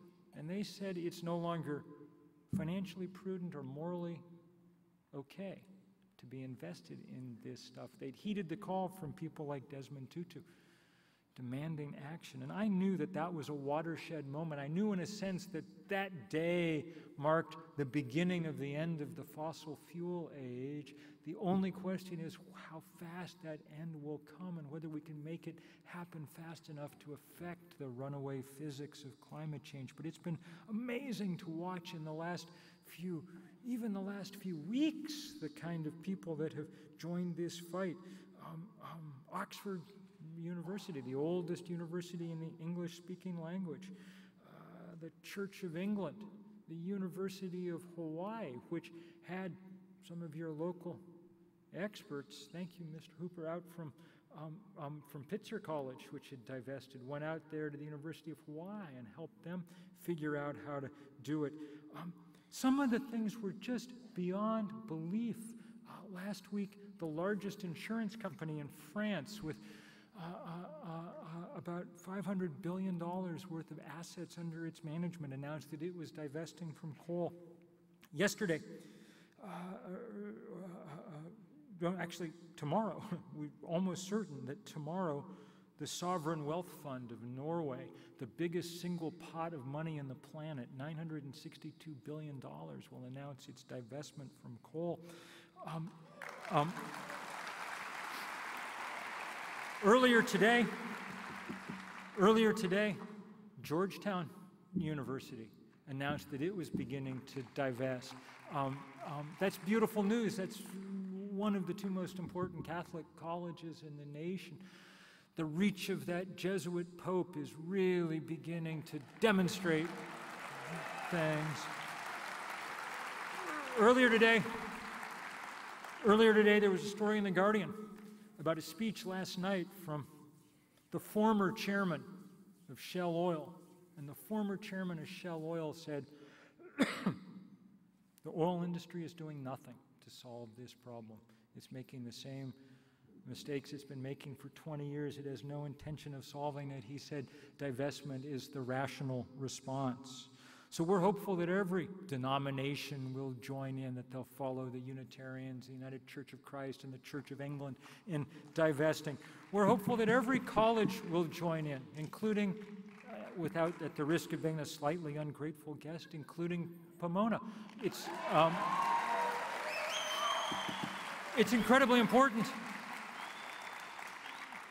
It's incredibly important to have solar panels and, and LEED certified buildings and things, but the endowment is just as much a part of the university as the dining hall, and if one of them's going to be green, they both should be. Um, um, so the point is, none of this happened by accident and none of it happened for free. It happened because people got involved in movements and made it happen. There were big sit ins and civil disobedience at so many of those colleges and schools and places, and that vision has started spreading around the world, and it needs to spread far more. So we need all of you engaged, and we need you engaged in every kind of way. Most of it is the normal work of writing letters and calling officials. California Senate yesterday voted to divest CalSTRS and CalPERS from coal, which is very good. Um, it goes now, and, and Senator Kevin De Leon was the key guy and a, and a good guy. Um, but it goes now to the assembly where it's going to be a harder fight. So, those of you who know who your assembly person is, call. And those of you who don't, shame on you and look it up. Um, um, um, um, we got to fight here in California, fracking. We got to fight at all the universities and colleges that you all come from. Um, we've got to fight for divestment. Find a battleground and dig in. Join this movement and join it in a serious way. I said that this was the biggest battle that we've ever faced as a civilization, and I meant it. There's nothing we've ever come up against that's as big, and there's nothing that we've ever come up against where the action that we have to take has to be taken now. Most times that we face social problems, wars, they stand there and wait for us to do something about it. You know, those who fought in the civil rights movement had to be very, very brave. It was more dangerous than to be an environmentalist. People got killed, they got shot. Um, um, at least in this country, that's not happening yet to environmentalists, though it is in other places around the world. But, but they did have in the civil rights movement an advantage that we don't have, which was complete confidence that eventually they would prevail. Dr. King ended every talk. He would say, The arc of the moral universe is long, but it bends toward justice. He was quoting from Theodore Parker, the abolitionist minister. The arc of the physical universe is short and it bends toward heat. If we don't get this done soon, then we don't get it done, which is why, along with writing and calling and Facebooking and all the other things that we do now, which is why we also need some of you engaged in those ways that humans have traditionally, at least for the last hundred years, summoned up the energy, the moral energy to change the world.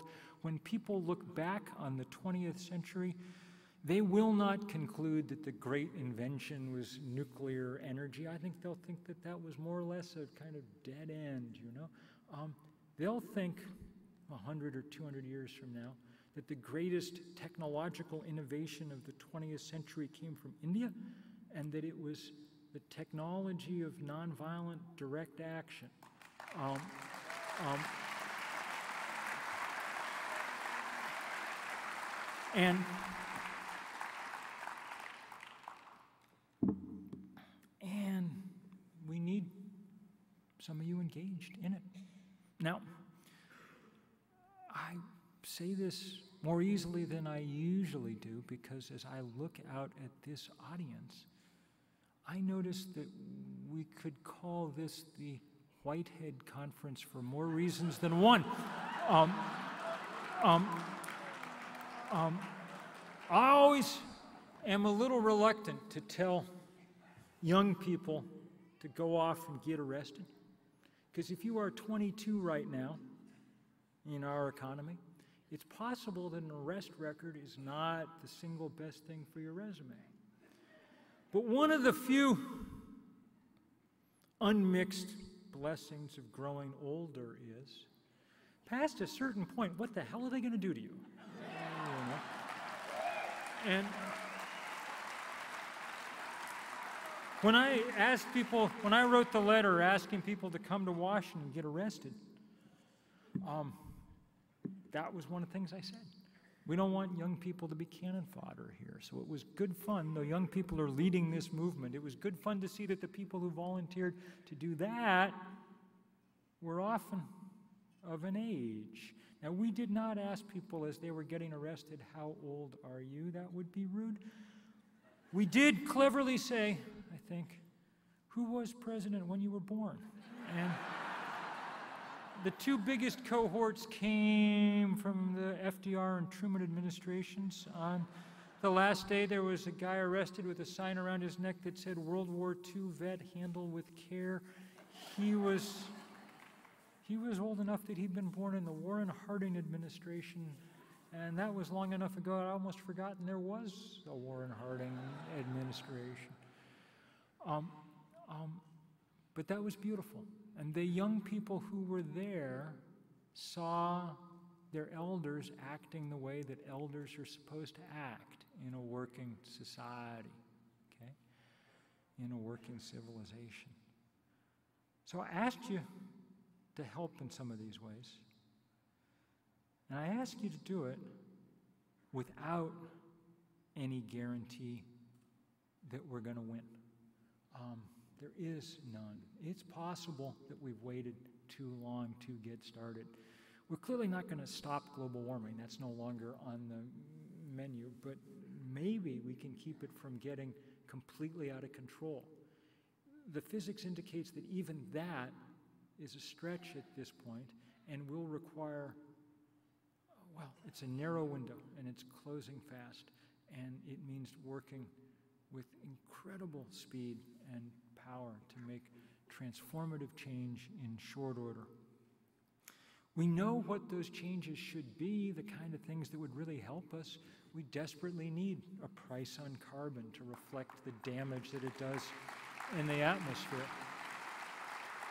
And we desperately need a kind of World War II style effort to take renewable energy now and put it to use every place around the world.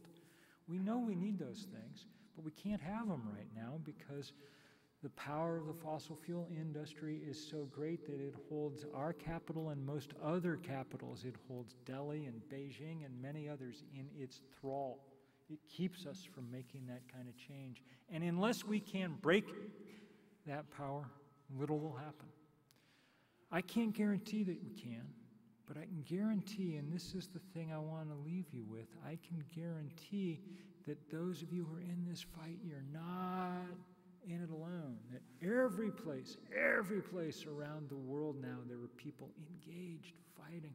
There are people meeting tonight in rooms like this in every continent and in most countries, and they are trying to figure out what they can do and how they can do it together with other people in this century. We've been given this gift to make use of for the first time the ability to really link up and come together. It's not an unmixed blessing, the internet, but it is perhaps the kind of blessing that we need if we can figure out how to knit ourselves together fast enough, if we can figure out how to use it, not to trade petitions on email, but to bring people out into the real world to get them engaged in this fight.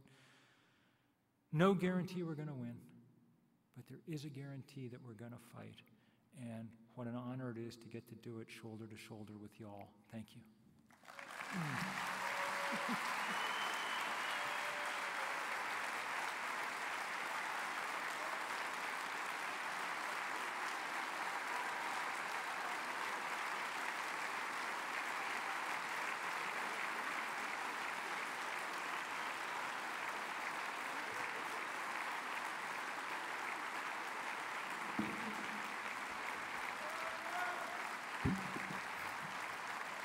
Thank you, Bill.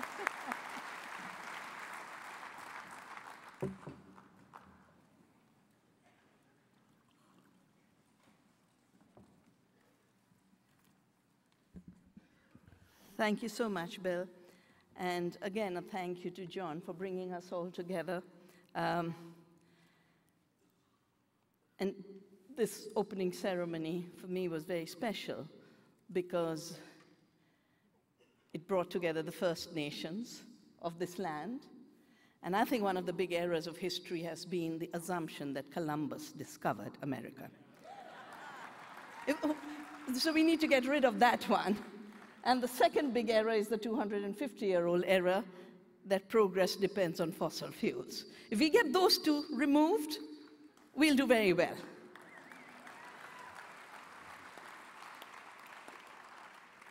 And the fact that you had China and India, um, and I think they are amazing powers. They're amazing powers to show another path of an ecological civilization. The fact that we've been around so long shows that on our own terms, we did get it right. But the reason China and India are being celebrated is for this crazy indicator called growth, which didn't last in the industrial countries and it's not going to last on fossil fuels in China and India. And so I'm so glad there's such large numbers of our Chinese brothers and sisters here to evolve the deeper ideas for an ecological civilization, which I've been referring to as Earth democracy, after Seattle, when they said the anti globalization movement knew what it was against. We didn't know what we were for. So I said, Well, we'll write and tell you. We are for the planet, we are for community, we are for love, we are for compassion, we are for creating abundance and security for all. We are not for the 1%. And to be critical of a model that benefits the 1% is not being illiterate, but knowing a little more of process and relationship.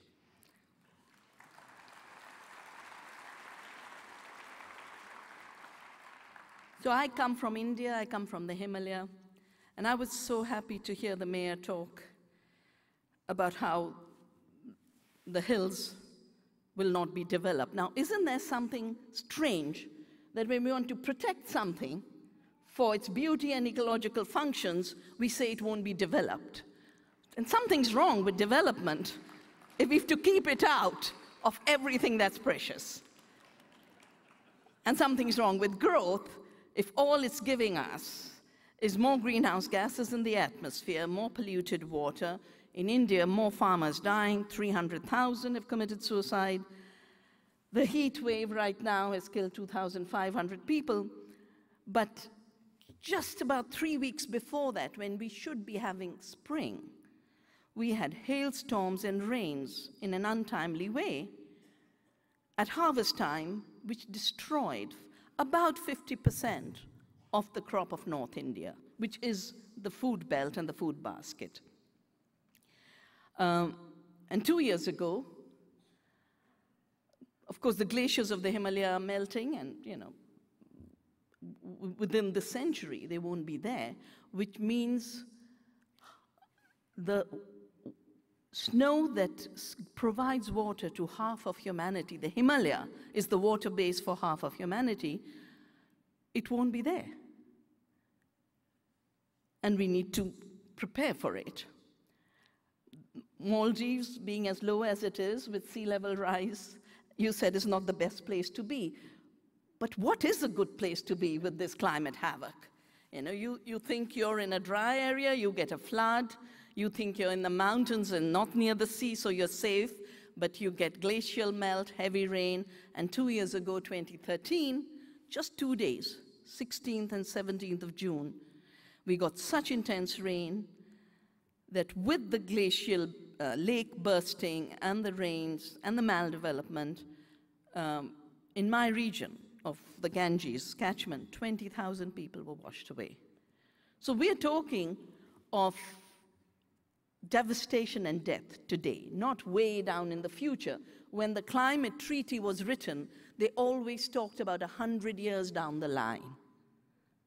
Now, It's happening now.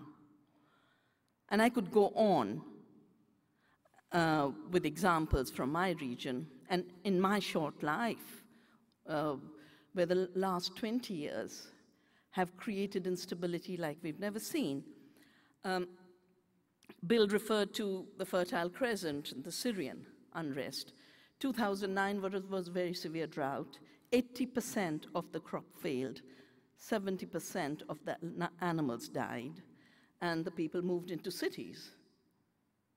And then Assad, of course, brought out his police and armies.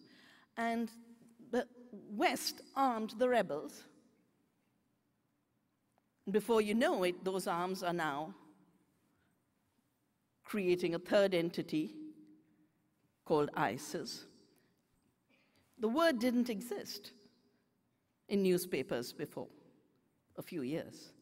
The word Boko Haram in Nigeria did not exist before 2009. And we've just done a manifesto called Terra Viva um, on what's happening to the soil and the land and the climate and the future of life on Earth. And the Secretary General, former Secretary General of the Desertification Convention, was with us. And he's from that area. And he showed maps of how Lake Chad has disappeared, which supported agriculture, supported pastoralists. There's no water, their livelihoods are gone, and today they're fighting each other. And it is interpreted as if it is a religious problem. It's a problem of making life unlivable. There is no religion that is saying destroy the earth. All religions, and I think there will be the wisdom discussion in the tracks um, during this conference, but when you look at what the religions are saying, all of them are saying the same thing about protecting the planet, taking care of each other. Um, and I think we really need to work together to stop allowing the misuse of religion in perpetuating war as well as maldevelopment. Now, I, of course, have spent the last 30 years um, working with agriculture, and about 15 years ago wrote uh, my book, Soil Not Oil. And I, th I think we really need to keep fossil fuels underground. They were never meant to become the basis of life on Earth. Life is better without fossil fuels, I can tell you, because we have a fossil fuel free farm. Um, but I think we need to increase more carbon in the soil because part of what's happening is the rupture of the carbon cycle, something you learn very early in life. What goes out should be reabsorbed by the biosphere. We are not allowing its reabsorption because we are destroying the capacity, but we are emitting far more than could be absorbed. And we've done the calculations with agriculture. Um, my book, Soil Not Oil, I worked out that 40% of all greenhouse gas emissions are coming from the same model of the economy and development in agriculture that is leading to greenhouse gases. 40% of the carbon dioxide, the nitrogen oxide, which is 300 times more lethal for destabilizing climate patterns, and methane. You don't have to have methane emissions if you don't put animals in factory farms and don't waste half the food. You won't have nitrogen emissions if you're not using synthetic fertilizers. In fact, our leguminous plants are designed to take nitrogen out of the air and fix it. That's why the First Nations always grew the three sisters the corn and the beans and the squash. We have the capacity to not just mitigate, but adapt. And the calculations are that with two tons per hectare of increased organic matter and carbon in the soil, we could actually close that emissions gap of 10 gigatons and bring down the atmospheric pollution and carbon dioxide load to 350 with a combination of keeping the carb fossilized carbon, the black carbon underground, and making the green carbon, which is life, increase. And we're going to make a shift from the black and the deadly and the destructive to the living And the beautiful thing is that it doesn't just help us mitigate, it helps us adapt. Uh, when we have these untimely rains, I was getting calls from our farmers from across northern India, and they would say, in India, everyone becomes a relationship. You know, I'm everyone's Didi, elder sister. And um, say, Didi, I used our seeds and I did organic, as you've taught us, and my crop was standing. It did not get destroyed by the rain. Because the soil has more water absorption capacity and there's more resilience in the plants. So we need to think more of resilience. We need to think more of how does a small farmer, small community survive today with the impacts, or the impacts that are going to be there, as Bill pointed out. But what's good for the climate is also good for food security. We actually end up producing more food. It's good for dealing with the water crisis like the drought. Who's so happy to be taken by a former student to a garden he's made by tearing up their lawn. And they're actually generating water in terms of water harvesting now from their little urban plot. And I, you know, the, uh, the messages from both the councillor from Los Angeles and the mayor that this drought has to become California's moment of making a shift, making a shift from the fossilized thinking of a fossil fuels base, because it is fossilized thinking, you know. It's so old and obsolete and out of tune with what we need. It's, but it's good for local economies, it's good for the soil, and 2015 is the year of soil. And as the situation shows with what's happening in the Middle East, what's happening in Africa, it's good for peace. If the soils are fertile and people are growing food and we've stabilized the climate, people will stay home. Refugee creation is part of the same process that's putting too much carbon dioxide in the atmosphere, is pushing people off the land and out of their homes. and I, I'm, I'm just so happy with the divest movement because when I was a young student, we were fighting against apartheid. And apartheid was won because of precisely that withdrawal of the world's support to keeping the apartheid regime around. What we are facing today is what I call eco-apartheid. Apartheid means separation. Eco-apartheid means this pretense that we are separated from the planet, both in terms of a progress that's based on destroying the planet, and in our minds, every model of science and economy and technology uh, defined in terms of an escape. And while we need the financial divestment, I think we also need a moral, ethical divestment from our, through our lives and the way we live. And that withdrawal, the good thing is that that withdrawal from the fossil fuel economy and that withdrawal from an industrial agriculture based on the fossil fuel economy actually improves our lives. It builds communities.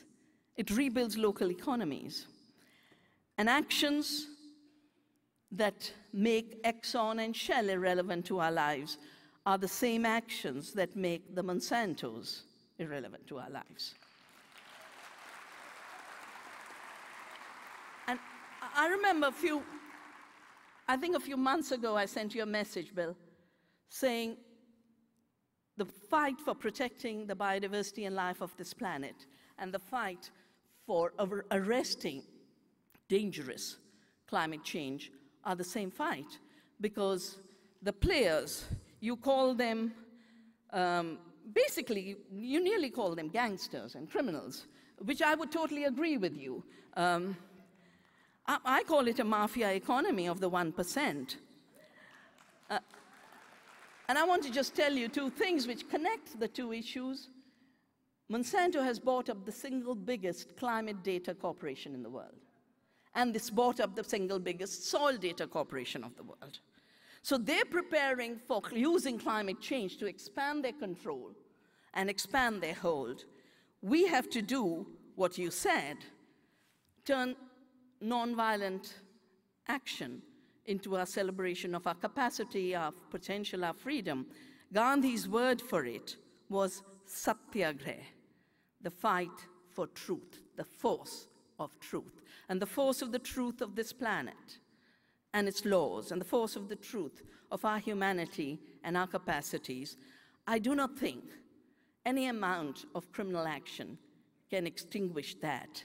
So let's take a pledge. 2nd October is Gandhi's birth anniversary, the day of Satyagraha, recognized by the United Nations. Let's turn it into a big celebration of a better life, a better worldview, a better earth community. I'll be at Gandhi's ashram taking a pledge.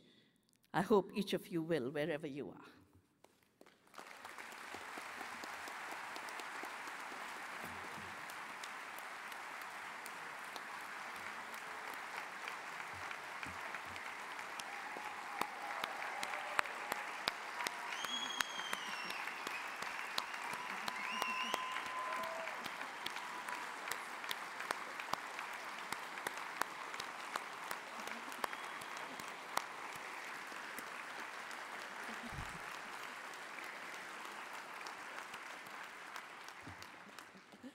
What a duo and what a challenge. We have heard the challenge, and we're here to meet it. Thank you for coming, and join now with our Pilgrim Pickers as we have our theme song for the night. Thank you.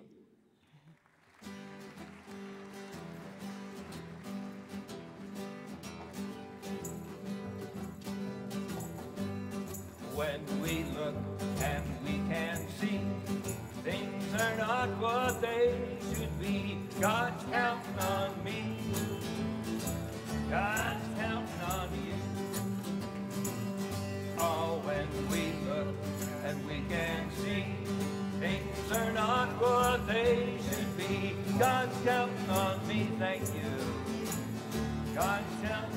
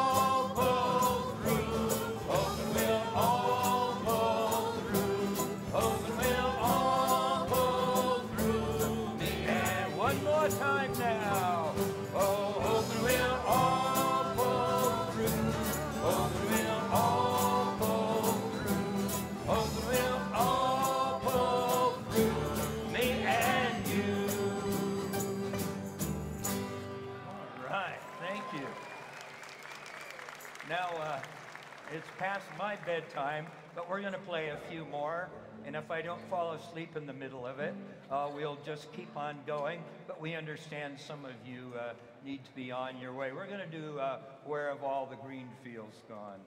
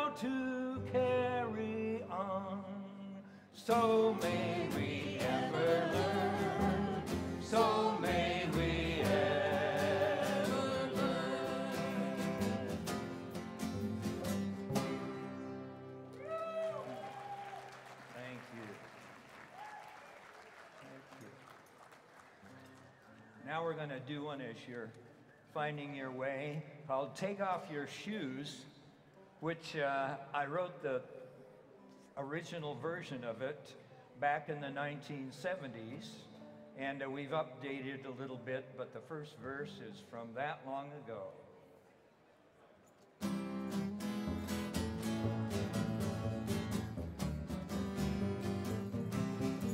Oh, take, take off your shoes.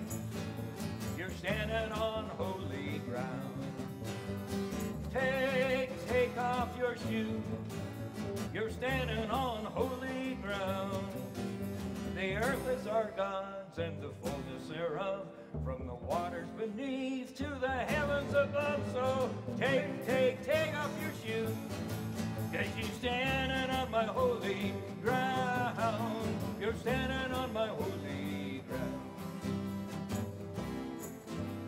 The eighth of creation, will our God look around at the power plants and freeways and the trash on the ground? Plantation throwing rubber where the grain should be high. You couldn't see the sun for all the smog in the sky. Well, kids, you really filled the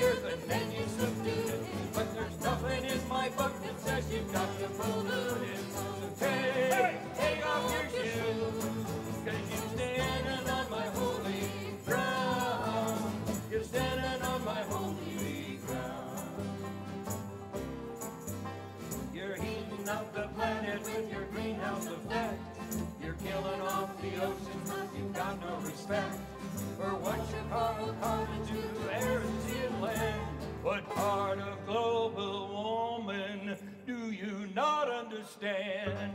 If oil is a commodity we're fighting for, it's time to learn the sanity that lets it for. So take, take off your shoes.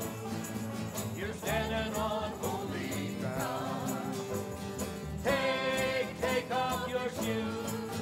you're standing on holy ground. The earth is our God's and the fullness thereof. From the waters beneath to the heavens above. So take, take, take off your shoes. Are you standing on my holy ground? You're standing on my holy ground. You're standing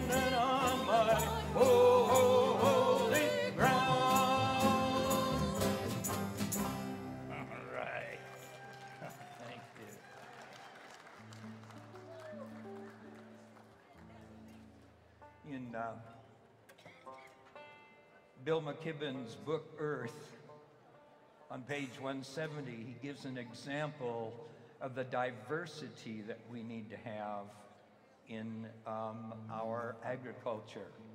And he cites um, a garden in Bangladesh.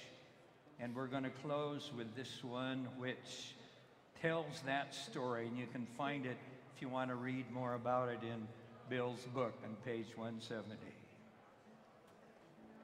Soon as we let our banjos get tuned here, because they need to do some tuning uh, between keys for different songs. You ready?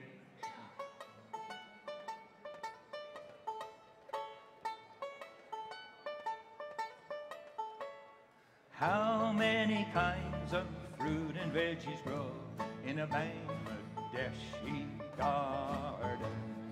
Hoping for diversity, you really ought to go to a Bangladeshi garden. Coconut and betel nut, cardamom and cinnamon, jackfruit, okra, blackberry, guava and pomegranate, eggplant and mango,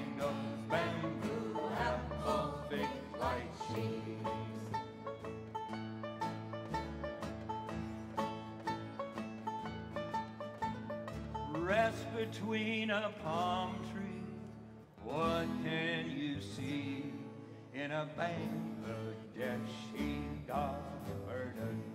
All within an acre with a wise caretaker, a Bangladeshi garden. Fish and ducks and chicken coop, chicken eggs and chicken poop, spiraling fertility. The earth's getting hotter, so tend the soil and water like a Bangladeshi garden.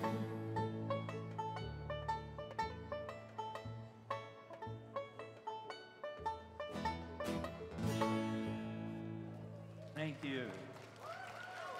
Thank you. See you in the morning. Thanks for staying.